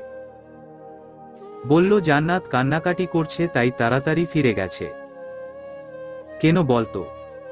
কিছু না। শুনো। আবির শুনল না, খট করে ফোন রেখে দিয়ে হন্তদন্ত হয়ে বেরিয়ে পড়ল। সেক্রেটারি জাবেদকে ফোন দিয়ে হৈমন্তীর নাম্বার দিয়ে বলে দিল খোঁজ করতে। মেয়েটা এমনি গায়েব হয়নি। গায়েব করা হয়েছে। নিজের বুদ্ধির তারিফ করতে ইচ্ছে করছে। বেকুবের মতো ভয় পেয়ে ওরে দূরে থাকতে বলে বিপদে পড়তে হলো। মেয়েটা ভালো আছে কি আল্লাহ ভালো জানে। আবির আগে জান্নাত ওকে নিয়ে আসলো। মেয়েটা ওকে দেখলে বেশ শান্ত হয়ে থাকে। আবির বুঝতে পারছে না কথাগুলো আরাফাতকে বলা উচিত কিনা। পুলিশের সাহায্য নিল। কিন্তু বারো ঘণ্টা না হলে কিছুতেই কেস নিতে চাইল না। এক সেকেন্ড টাইম যাচ্ছে না আবার বারো ঘণ্টা। বিপদের মধ্যে আরেক ঝামেলা। আরশি ঘন ঘন ফোন করছে বাড়িতে ফেরার জন্য। ওর মা বাবা এসেছে কিসের কথাবার্তা বলবে। আবির সাফ জানিয়ে দিল, ফিরবে না। ফোনটা চালু রাখতে হবে। মন খারাপ করে বসে আছে আমেনা বেগম। শরীর ঠিক লাগছে না। বড় মেয়ের বলা কথাগুলো উনাকে আঘাত করেছে। মেয়েকে সুখে রাখতে গিয়ে কষ্ট দিয়ে ফেলেছে। মেয়েটা মরার মতো বেঁচে আছে। কি করে দিবেন এই পাপের মাসুল? দুটো মেয়ের জীবন উনি নিজ হাতে নষ্ট করেছেন। কথাগুলো ভেবে উনার পেশার হাই হয়ে যাচ্ছে। প্রচুর ঘামছেন। কপালে বিন্দু বিন্দু ঘাম চিকচিক করছে। ফ্যানের বাতাস গায়ে লাগছে না। ছোট মেয়ের জীবনটা উনি তছনছ করেছেন। শুধু ভেবেছেন বড় মেয়ে ভালো আছে, ছোট মেয়েকেও বোনের মতো ভালো থাকতে হবে। কিন্তু এখন দেখা যাচ্ছে বড় মেয়েটাই ভালো নেই। যাকে উনি আগে অহংকার ভাবতেন, তাকে এখন বিষাক্ত লাগছে। মা হয়ে কীভাবে সন্তানের এমন সর্বনাশ করেছেন, নিজের উপরে নিজের ঘৃণা হচ্ছে। বড় মেয়েটা না আসলে তো উনি বুঝতেই পারতেন না, উনার সিদ্ধান্তগুলো কতটা খারাপ ছিল। মেয়ে দুটো দাঁতে দাঁত চেপে মায়ের দেওয়া কষ্ট সহ্য করে বেঁচে আছে। আর উনি চোখে পর্দা টাঙিয়ে ঘুরে বেড়াচ্ছেন। ধিক্কার দিতে ইচ্ছে হচ্ছে। আমেনা বেগমের চোখ ঝাপসা হয়ে আসছে। চারদিক ঘুরছে। শরীর থরথর করে কেঁপে উনি ধপাস করে পড়ে গেলেন। চয়নিকা শাশুড়ির কাছেই আসছিল হঠাৎ শব্দ শুনে দৌড়ে এসে দেখল আমেনা বেগম উল্টে পড়ে আছে। ও চিৎকার দিয়ে সবাইকে ডেকে নিল। রাজীব তাড়াতাড়ি মাকে নিয়ে হাসপাতাল ছুটল। বয়স হয়েছে হার্ট অ্যাটাক হলে রক্ষা নেই।